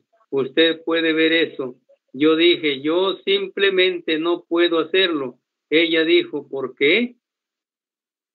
Yo dije, yo no sé. Dije, no puedo hacerlo dijo, bueno, usted es un cazador, ¿no es así? Yo dije, sí, señora, pero no soy un asesino. Y entonces dijo, bueno, ¿por qué no va a buscar su y le dispara, ni le dispara? Yo dije, eso es que no puedo hacerlo. Bueno, dijo, ¿por qué no? Dijo, permita que que Banks, que lo haga. Ese es su esposo. Yo dije, sencillamente no puedo hacerlo. Bueno, dijo Billy, ¿me quiere usted decir que la que va a dejar a esa madre tirada allí y que esos pobres animalitos beban esa leche de ella y tengan una muerte horrible? Párrafo 56. Yo dije, señora Boxes, usted siendo doctora o veterinaria, usted sabe que esa es la cosa humana por hacer, pero es que hay algo dentro de mí. Yo dije, no puedo hacerlo. Y dije, ella está queriendo permitir, ella quiere quedarse con sus bebés hasta morir. Dije, ella debe permanecer con sus bebés entonces deje que se levanta, deje que se le que se levantará. Y él, y en eso ella corrió hacia la casa y cuando llegó justo enfrente de mí, de mis escalones, se cayó. Dijo, allí está, ese es el fin. Yo dije, bueno, ella logró vivir unos cuantos minutos más con sus bebés con sus bebés. Y yo subí allí y esas pequeñas zarigüeyas, zarigüeyas trataban de alimentarse de ella. Yo la, la empujé, ella estaba agotada. Traté de echarle agua encima, finalmente como que mostró los, los dientes y dije, dijo, ¿por qué no mata a los pequeñitos? Yo dije, déjenla en paz. Dijo, ¿va usted a dejarla tirada allí? Así, Billy. Y dijo, y yo dije, sí, señora.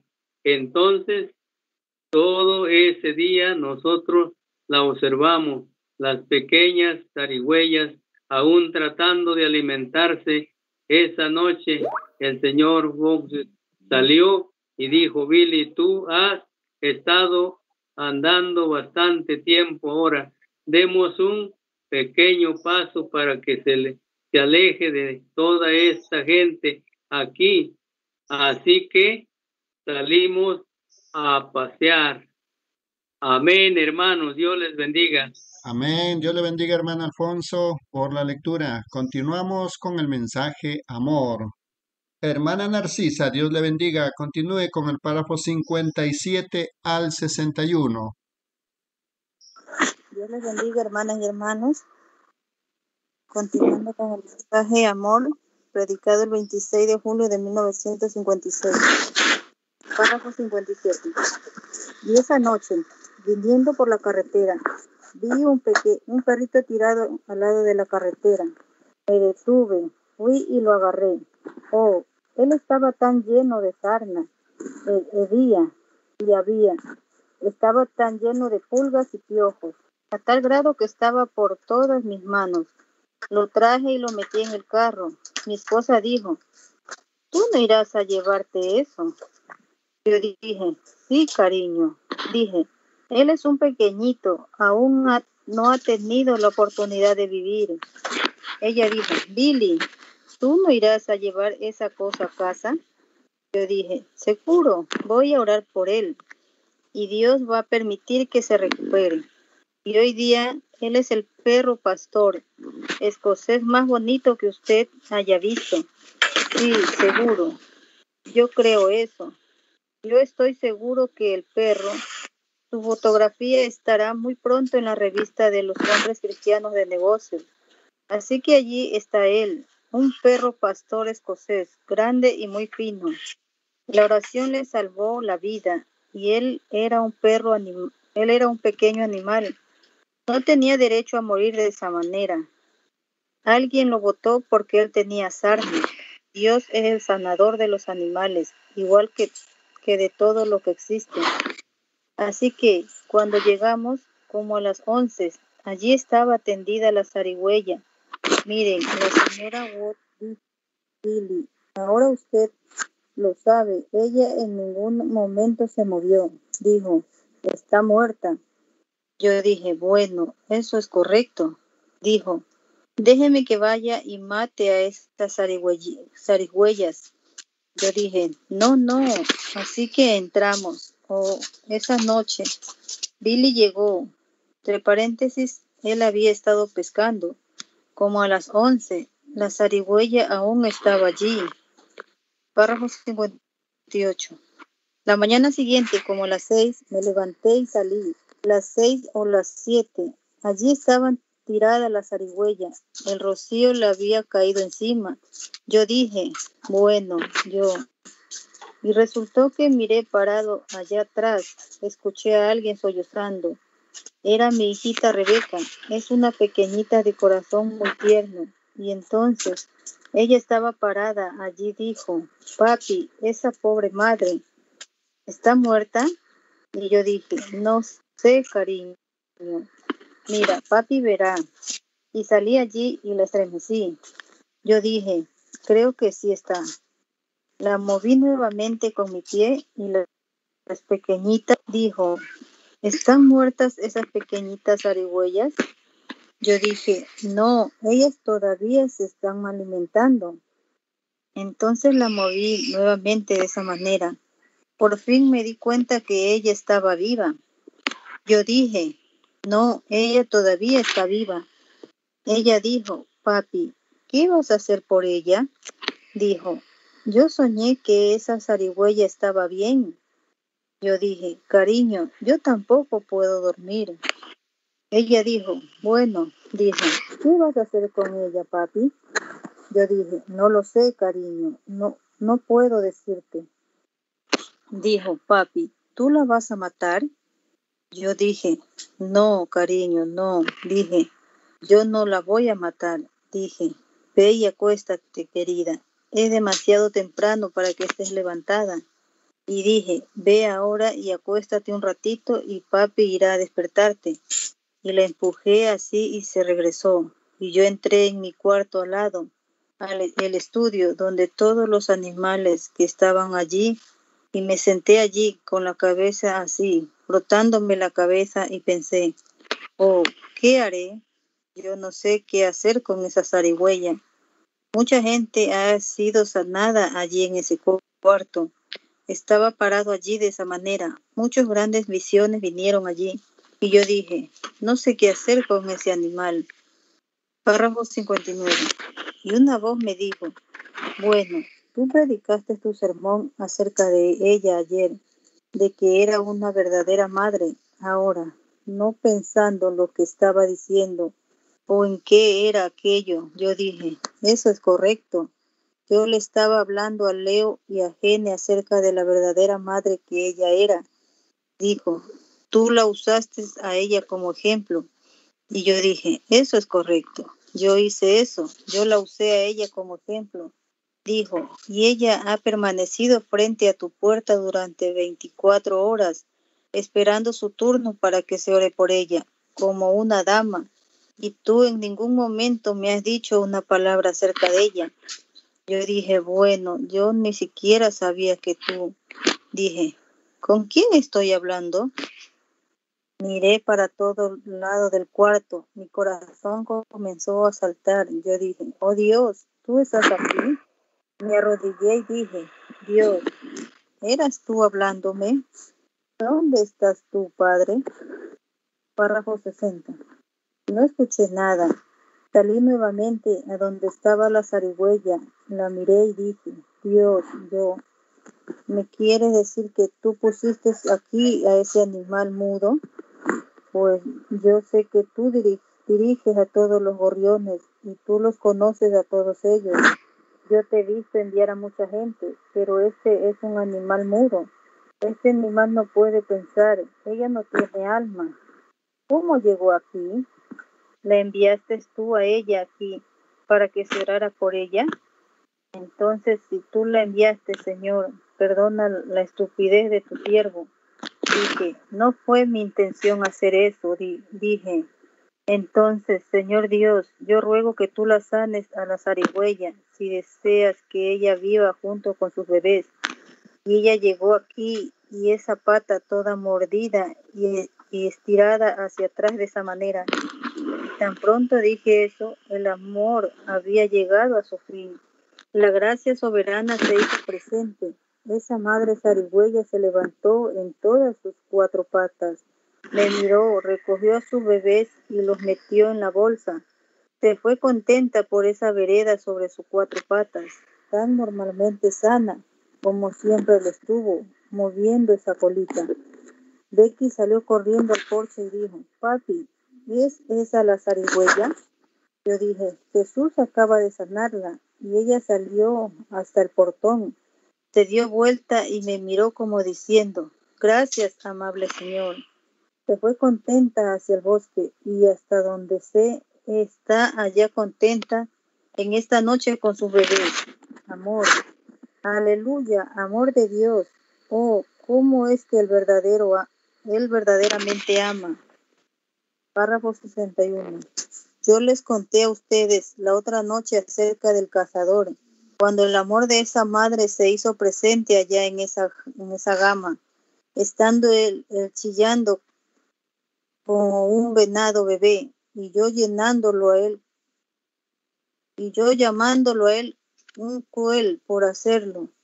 Esa madre gama salió allí y sin embargo el cazador con una escopeta en su rostro. Esa gama nunca parpadeó. Ese amor por ese bebé aún estaba buscándolo y eso trajo a ese cazador bajo convicción. Cuando él comenzó a jalar el gatillo, él empezó a temblar. Yo estaba parado detrás de él. Él colocó la escopeta en el suelo y me abrazó y dijo, Predicador, ore por mí, guíame a Dios, yo no puedo evitarlo. Es amor. Cuando usted vea el despliegue de amor valiente, usted verá la gracia soberana de Dios hacerse presente cada vez y tomar su lugar. No hace mucho yo venía de Dallas, iba volando de regreso a casa y entré en una tormenta por aquí en Memphis. Ese avión grande descendió, el TWA, y aterrizó allí. Me pusieron en el hotel Pittsburgh. Yo no, yo no pudiera darme el lujo de quedarme allí ahora. Ellos me pusieron allí por esa noche y a la mañana siguiente ellos me llamaron y dijeron, este es el aeropuerto a las 7 en punto. Esté en el aeropuerto a las 7 en punto. La limusina lo recogerá. Yo estoy a punto de terminar. Escuchen atentamente. Dijeron, Lo recogeremos a las 7 en punto. Dios les bendiga, hermanos y hermanas. Dios le bendiga, hermana Narcisa. Continuamos con el mensaje Amor, mensaje predicado el día 26 de julio del año 1956. A continuación, hermana Rosalia, Dios le bendiga, en los párrafos 62 al 66. Amén, hermanos. Continuando con el mensaje Amor, párrafo 62. Yo dije, de acuerdo, o ellos me recogerían para que yo pudiera estar allí a las 7. A la mañana siguiente me levanté bien temprano porque yo había salido de una reunión. Tenía algunas cartas que había escrito esa noche y pensé, echaré estas al correo primero. La limusina vendrá después de un rato. Entonces salí y le pregunté al hombre, ¿hacia dónde queda la oficina de correo? 63. Él dijo, directo hacia adelante, bajando por allá. Y salí. Comencé a bajar allí Iba bajando por la carretera cantando. Ellos estaban reunidos en el aposento alto, orando todos en su nombre. Fueron bautizados con el Espíritu Santo y poder para servicio divino. Oh, lo que Él hizo por ellos aquel día. Él hará por ti lo mismo. Estoy muy contento en decir que soy uno de ellos. Caminando por la calle así, cantándolo, en mi corazón, de repente algo dijo, detente. Yo pensé, eso fue solo una impresión. Yo dije, oh, ven, mi hermano, busca esta bendición. Eso limpiará tu corazón de pecado. Algo dijo, detente. Había muchos artículos de pesca allí en la tienda. Regresé a ese lugar como si estuviera mirando los artículos de pesca para que nadie me viera en la calle. Estaba ocupado allí adentro y regresé a la esquina. Yo dije, Padre Celestial, ¿ese eras tú hablándome? Me quedé calladito. Dijo, date la vuelta y regresa y sigue caminando. Párrafo 64. ¿Creen ustedes en ser guiados por el Espíritu de Dios? Me di vuelta y comencé a regresar. Pasé frente al hotel y seguí caminando. Miré mi reloj y ya eran las siete. Perdí la limusina. Seguí bajando, bajando hasta que llegué allá bien abajo, a un pequeño barrio de color, donde hay gente de color. El sol ya estaba bien alto. Pensé, oh, he perdido mi avión, pero algo me sigue diciendo que camine. Así que sencillamente seguí caminando. Así se hace. No cuestione a Dios, haga lo que Él le diga a usted que haga. Así que simplemente siga caminando. Y al poco rato miré y recargada sobre el portón estaba una señora típica del sur, con una camisa de hombre atada alrededor de la cabeza, lágrimas bajándole por sus mejillas. Y yo pasé al lado y ella dijo, buenos días, predicador. Yo dije, buenos días, señora. Seguí caminando. Yo dije, bueno, ¿cómo? Ella dijo, predicador.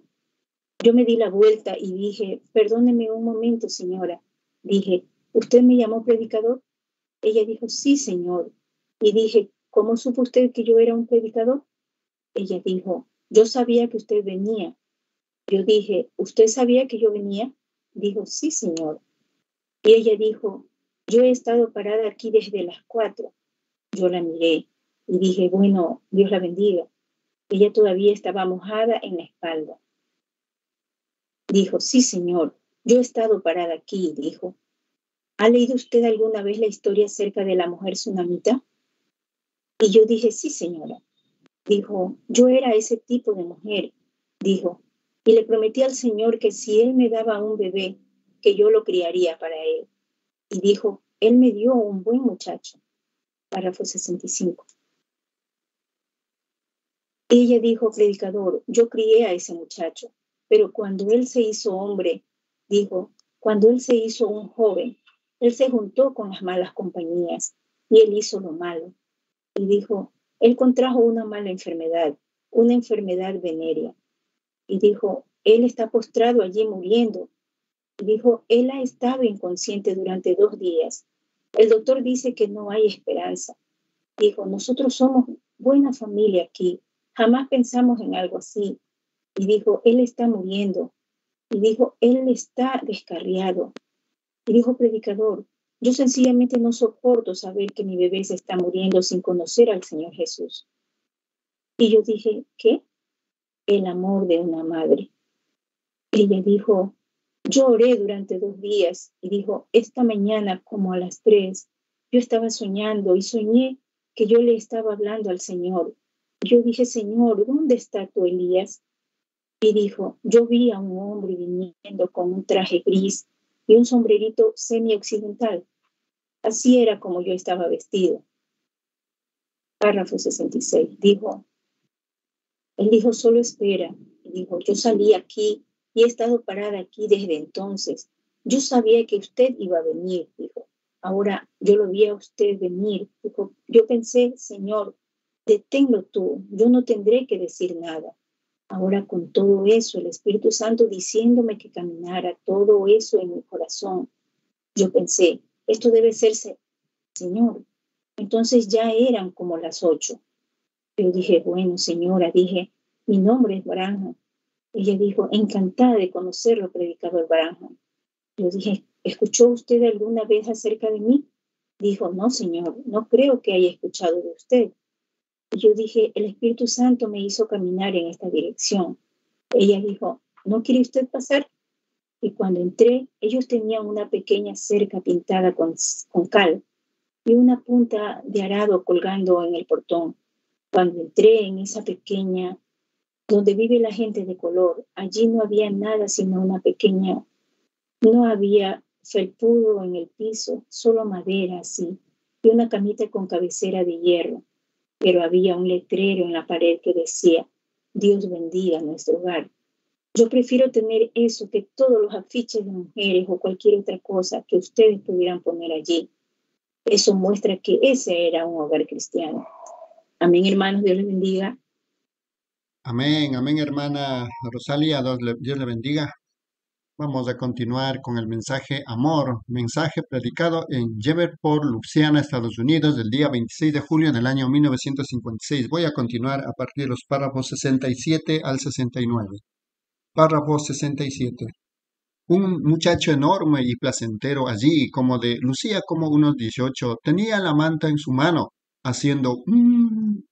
Dijo, está oscuro, está oscuro aquí. Yo dije, ¿qué le pasa? ¿No puede hablar? Dijo, no, él ha estado inconsciente dos días. Dijo, él piensa que está en el alta mar y que está en tinieblas y perdido.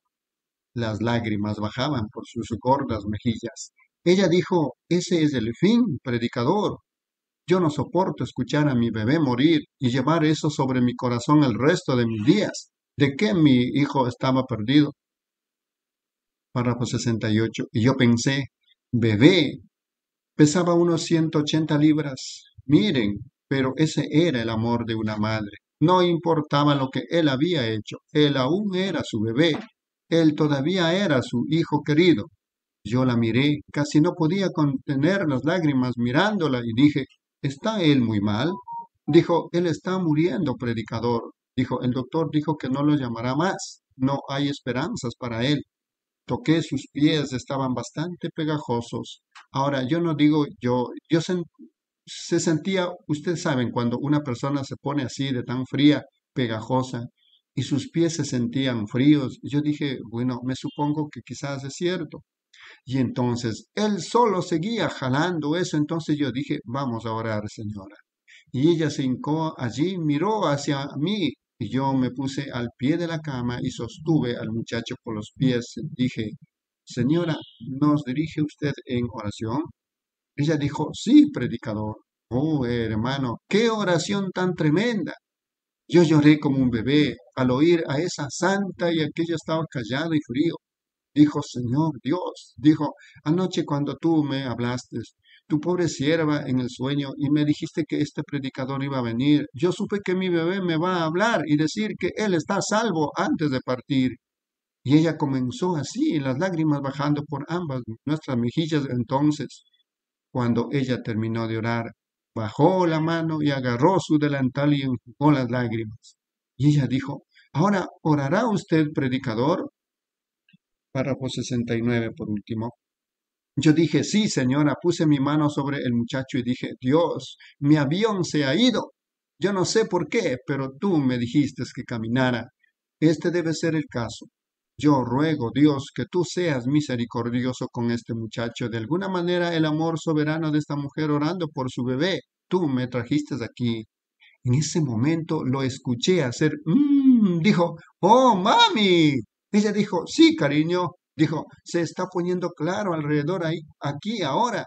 Dijo, me estoy acercando a la orilla. En unos minutos él estaba en la cama. Como seis meses después de eso, yo estaba yendo para alguna parte en el sur. Yo fui en tren. Ellos pedían como 75 centavos por una hamburguesa en el tren. Yo la compré a 15 centavos allí en la estación. Simplemente esperé hasta que el tren llegue a Memphis y al salir del tren, ustedes saben cómo una camina, cómo uno camina hasta ese pequeño restaurante. Yo estaba yendo, caminando por allí esa mañana. Me había subido en Louisville esa noche y allí y salí para allá. Yo escuché a alguien decir, hola, predicador Branham. Oh, amén, hermanos, Dios le bendiga. Continúa, hermana Reina, en los párrafos 70 al 72. Amén. Continuando con la lectura del mensaje Amor. Párrafo 70. Miré para todos lados y ahí estaba un mozo parado allí. Dijo, ¿Cómo está usted, predicador Branham? Yo dije, ¿Cómo estás, hijo? Dije, ¿Cómo me conociste? Él dijo, Usted no me conoce, ¿verdad? Dijo, ¿Usted recuerda esa mañana cuando fue allá a orar por mí?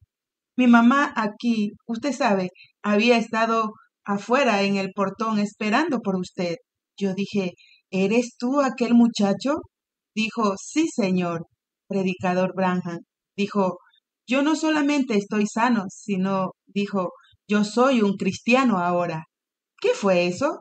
Aquella mañana, cuando regresé a mi avión, me subí a un taxi tan pronto como salí de esa casa y regresé. Corrí a la estación para ver qué tren cuál era el próximo avión que podía conseguir. Ellos dijeron, última llamada para este cierto avión. Dios, por medio del amor de esa pobre e ignorante mujer de color, el amor de ella, por Dios y su bebé, había hecho aterrizar ese avión y lo mantuvo allí. Aleluya. Cuando el amor es proyectado, la gracia soberana se hace presente y toma su lugar Dios conocía su don. Dios sabía lo que sucedería. Dios había escogido que esto fuera así. Y el amor de aquella madre había mantenido. El amor de esa pobre e ignorante mujer de color que probablemente no conocía su abecedario, pero ella conocía el amor de Dios. Eso es lo que hizo que aquel avión aterrizara y lo retuvo tres horas. Cuando me embarqué, yo dije, ¿qué sucedió, Aeromosa? Ella dijo, oh, hubo algo que sucedió en otra parte o algo así. Ellos lo retuvieron allí. Yo pensé, bueno, yo sé que así fue. Eso sucedió en la gloria. Amén. Párrafo 71. Déjeme decirle, hermano, no hay nada como el amor de Dios. ¿Lo aman ustedes a Él en esta noche? ¿Él es su Salvador? ¿Tienen ustedes amor que puedan proyectarle a Él? Que en las horas de su muerte la gracia soberana, sí, algún día yo tengo que llegar al final del camino. Eso es verdad, hermano. Una de estas noches yo predicaré mi último sermón. Cerraré esta Biblia por última vez y yo sé que por posiblemente espero que sea un hombre anciano. Quizás tenga unas cuantas barbas canosas colgando alrededor, pero yo me estaré recargando sobre el callado de que he llegado al final del camino. ¡Oh, qué cosa! Yo quiero mirar atrás a través de cada zarzal y cada colina, donde quiera que han estado mis huellas. Yo espero que sea terreno para Jesús. Cuando sepa que he peleado la última hora, sepa que he cantado el último himno, he ofrecido mi última oración, he predicado mi último sermón, mientras estoy parado en las riberas del Jordán y los rompeolas estén estrellándose contra mi alma, los doctores se marchen, los santos estén parados con rostros inclinados y yo sienta los rompeolas acercándose en mi alma. Yo quiero quitarme el yelmo y colocarlo en la orilla del río. Quiero desatarme las sandalias y quitármelas. Quiero tomar la espada y meterla de regreso en la vaina de la eternidad. Levantar ambas manos y decir, Señor, envía la barca. Esta mañana vengo a casa. No se preocupen, Él estará allí. Él estará esperando. Yo quiero vivir para Él hoy, que en esa hora, cuando descienda por el valle de la sombra de muerte, yo quiero que dos alas brillantes del Espíritu Santo me lleven al otro lado del río. Amén. Él estará allí si ustedes sencillamente confían en Él. Párrafo 72. Hablemosles a Él ahora. Nuestro Padre Celestial, mientras estamos aquí en este gran avivamiento, en la gran Sheverport, con este querido pueblo sureño, Señor, son tan amables y los más dulces que he conocido en toda mi vida, humildes, aún los ministros, Parece ser un pueblo tan encantador, no diciéndolo delante de ellos, Señor, pues sería un hipócrita al orar de esa manera, pero simplemente por ellos yo estoy hablándote a ti, Señor, al ver a muchos de ellos aún en pecado, aún en tinieblas, ellos todavía no conocen el amor de Dios, ellos no conocen al amoroso Señor Jesús. Y, en qué realmente están confiando muchos de ellos porque ellos pertenecen a la iglesia. Muchos de ellos están creyendo que serán salvos en aquel día, porque ellos están en buena posición con su vecino o con su pastor o con la iglesia. Muchos de ellos piensan que porque conocen bien la Biblia. Oh Cristo, yo estoy persuadido en esta noche que a menos que un hombre nazca de nuevo, a menos que toda su naturaleza, toda su perspectiva, ese temperamento, esa indiferencia hacia Cristo sea cambiada, sea humillada, bajada a la dulzura, bajada a un lugar en donde Dios pueda guiar. Amén. Amén, amén, aleluya, gloria a Dios. Continuamos con el mensaje amor. Hermana Lidia, por favor, en los párrafos 73 al 76. Vaya, vaya, vaya, yo te Vamos Continuando con el mensaje, amor del 7, a ver, del 26 de julio del 56, párrafo 73. Yo estoy pensando en centenares de cartas de Alemania, Suiza, Suiza, a través del mundo, del mundo que la gente ha enviado, diciendo, oren por mí, como usted lo hizo por aquella zarigüeya.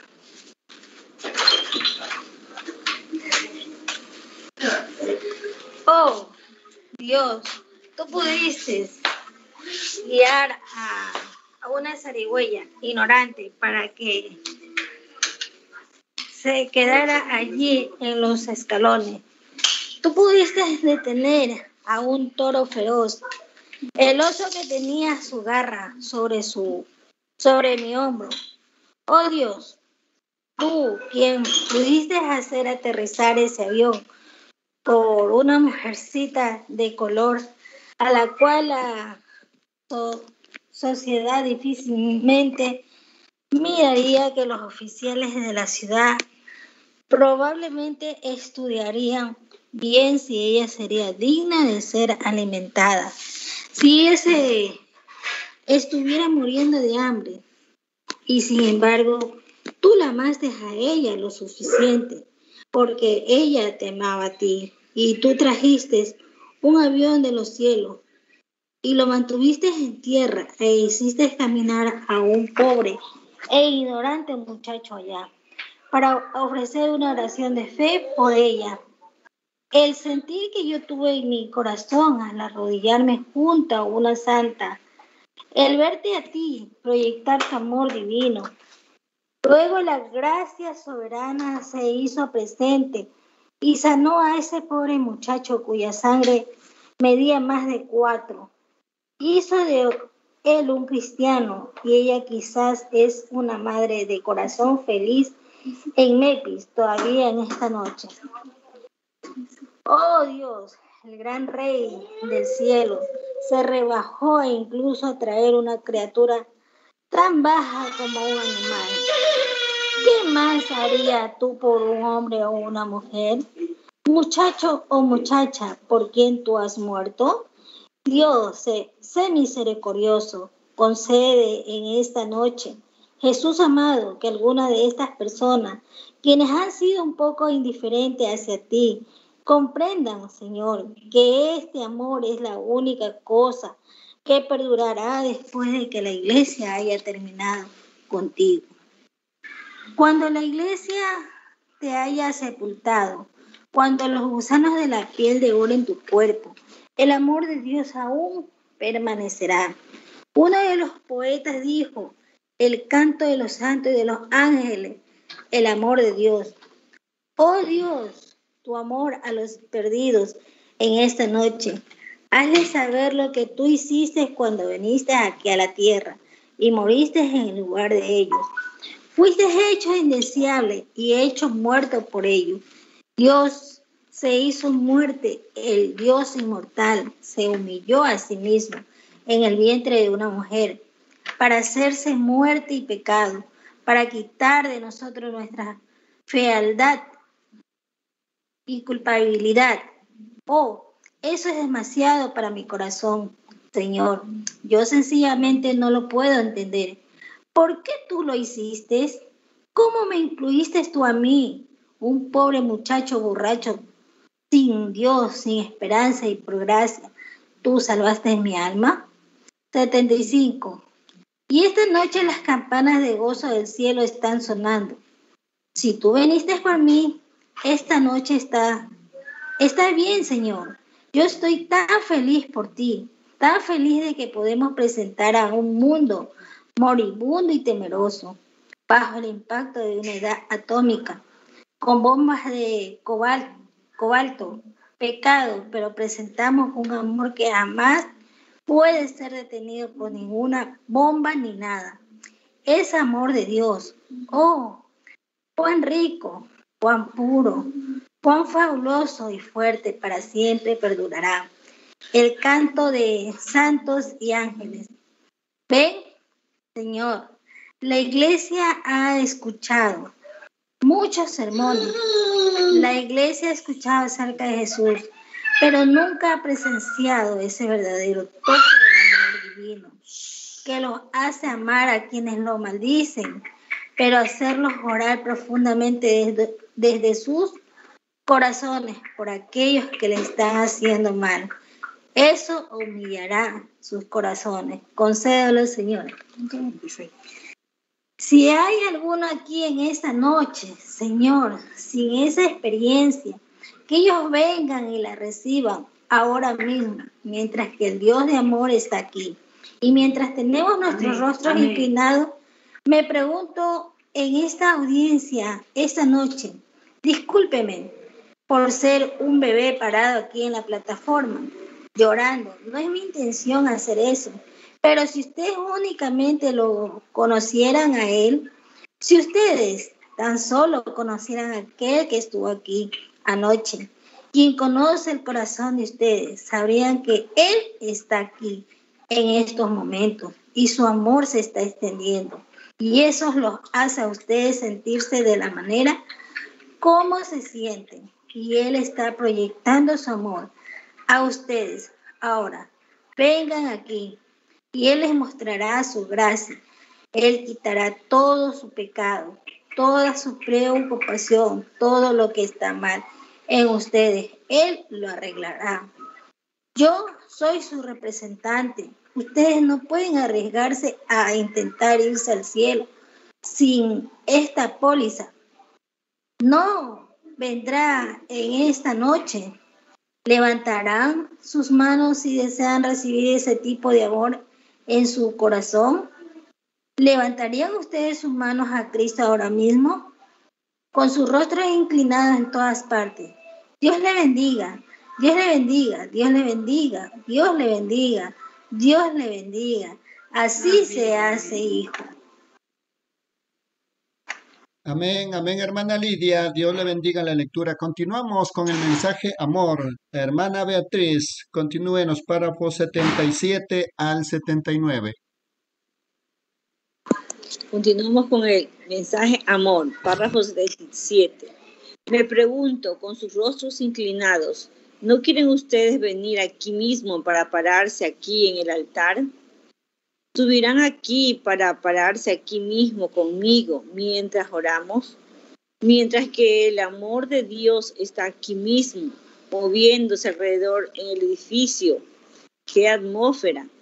Esta es la atmósfera en la cual desearía poder vivir para siempre, este sentir dulce y humilde.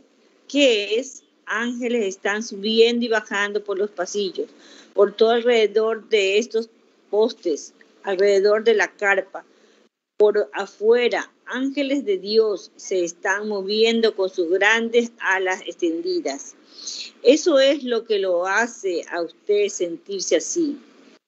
Ustedes no se sienten así todo el tiempo. Ustedes no van nada diferente a cómo estaba cuando ustedes entraron aquí hace un rato. Pero yo lo siento, estoy consciente de ello. No vendrán, pasen al, frente ahora y párense alrededor del altar. Quien desea venir primero, yo creo que si uno tan solo se dirige, Dios le bendiga. Aquí viene un hombre anciano, canoso, le sigue una jovencita, otra dama que está incluso levantándose, poniéndose muletas para venir. Dios bendiga su corazón, que Él le permita regresar sin muletas. Es una dama joven en un momento decisivo. Hay un joven viniendo, caminando con su... ¿Quiere usted venir? Acérquese alrededor del altar, mientras que a otros tú estás llamando. No pases de mí, Salvador, párrafo 78. 8. ¿No quieren ustedes levantarse ahora? Acercas, acérquense aquí, pararse aquí en el altar. Solo una pequeña palabra de oración pudiera significar la diferencia entre su lugar en la eternidad. ¿Puede usted humillar su corazón? Ahora, Señor, desde aquí en en adelante yo voy a caminar humilde. Dios le bendiga, joven, estás haciendo una cosa valiente. Tú estás obedeciendo al Espíritu Santo. ¿Alguien más? ¿Cuántos aquí desean venir? Vengan, no voy a escoger a nadie. Todos ustedes vengan, pues así se hace. Ustedes que sienten que necesitan venir, levántese pues y vengan no vendrá. Párrafo 79. ¿Saben qué? Mientras están orando, ¿cuál es el éxito de mi oración por los enfermos? Aquí está, no los amo ustedes, eso es lo que lo logra, porque contesta él mismo mis oraciones, porque yo lo amo a él, él me ama a mí, yo tengo confianza en él. Ven, Dios te bendiga, cariño una muchachita como de 14, dos muchachitas más como de 10 a 12, viniendo, abriéndose paso. Una muchachita hermosa con trenzados largos atrás, como mi Rebeca, como mi pequeña Rebeca. Otra llorando. Miren eso, todos ustedes, los de más edad, deberían avergonzarse cuando ven a una niñita viniendo así, como de 12 años de edad sencillamente tan convicta por el Espíritu Santo, su corazón. Yo en el trono de misericordia encontrar un dulce alivio, arrodillándome allí en profunda contrición. ¿No vendrá usted? Venga, ¿no lo harán? Ayuda mi incredulidad. Ahora, mientras cantamos este coro, levántese y venga. Vengan ahora todos ustedes, acérquense ahora. Todo el que tenga una necesidad de Dios ahora, ¿sabe que Dios calentará su alma aquí? ¿Está usted un poco frío en su experiencia? Venga. ¿Quiere usted ser acercado? Dios le bendiga, papá. Dios le bendiga, hermana. Dios le bendiga, hermano. Viniendo ahí atrás, un hombre de fina apariencia. Vean, es una damita viniendo aquí llorando. Una jovencita hermosa, un hombre anciano allí en las sombras de la vida. Viene y se cae aquí, su barbilla temblando y las lágrimas bajando por sus mejillas. Amén. Amén, amén, hermana Beatriz. Dios le bendiga la lectura. Bueno, mis amados hermanos y hermanas, eh, más adelante tenemos el culto y vamos a concluir. Los hermanos que están pendientes, pues a continuación, el día de mañana, si Dios permite, pues conforme vayan solicitando, estaremos anotando en la lista. Y de paso también, mis amados hermanos, el día de mañana, si Dios permite, iniciaremos un nuevo mensaje titulado Haciendo muchos estanques en el valle, predicado también en Shreveport, Luciana, Estados Unidos de América, el día 28 de julio del año 1956. Agradeciendo a Dios por la gran obra que ha hecho para nosotros. Vamos a concluir este compañerismo. Hermano Alfonso, si, si fuera tan amable, nos despiden en la oración. Amén, mis hermanos, y shalom para todos. Amén, hermanos. Dios les bendiga. Amado Padre Celestial, Señor Dios Todopoderoso, estamos agradecidos contigo, Señor, por haber estado, Señor, en esta tarde, reunidos los que pudimos estar aquí, Señor, alrededor de esta palabra tan maravillosa, Señor, que tú nos trajeras desde la misma gloria, Señor. Padre, porque sabemos que fuiste tú trayéndola, Señor, y poniéndola en el corazón de un profeta, o más bien en la boca de un profeta, Señor, para que ese profeta pudiera hablarla, Señor, solamente. Señor, estamos tan contentos y agradecidos contigo, Señor, por este glorioso privilegio, Padre, que le has dado a cada uno de nuestros hermanos y hermanas que eh, participan en este en esta lecturación de estos mensajes. Yo creo que todos estamos, Señor, entusiasmados y estamos enamorados, Señor, por esta palabra, Señor, porque sabemos que esta palabra es vida, Señor, al que la cree, Señor. Gracias, Señor Jesús. Y en esta tarde, Señor, en tus manos nos encomendamos todos, Señor, Padre, porque vamos a estar pendientes, Señor, con el mensaje que va a ser traído dentro de unos momentos, Señor. Padre, porque sabemos que es mensaje, es vida, Señor. Es vida a toda la gente que lo puede oír, lo puede escuchar, lo puede creer, lo puede saborear. Padre, como algo que es una cosa muy dulce, Señor, para cada hombre o mujer que lo oye, Señor. Señor Jesús, en tus manos preciosas estamos poniéndonos como lugar seguro y si hay un mañana, Padre, permite que podamos estar listos una vez más para poder estar lecturando estos mensajes, Señor. Padre amado, te pedimos todo esto, Dios, en el nombre del Señor Jesucristo, tus bendiciones estén con cada uno de nuestros hermanos. Lo pedimos en el nombre de Jesús. Amén. Dios les bendiga, hermanos. Shalom a todos. Hermanas y hermanos. Shalom. Shalom, shalom, hermanos. Shalom, Violetita. son tus moradas, oh Jehová de los ejércitos, la congregación de los primogénitos, mis juntos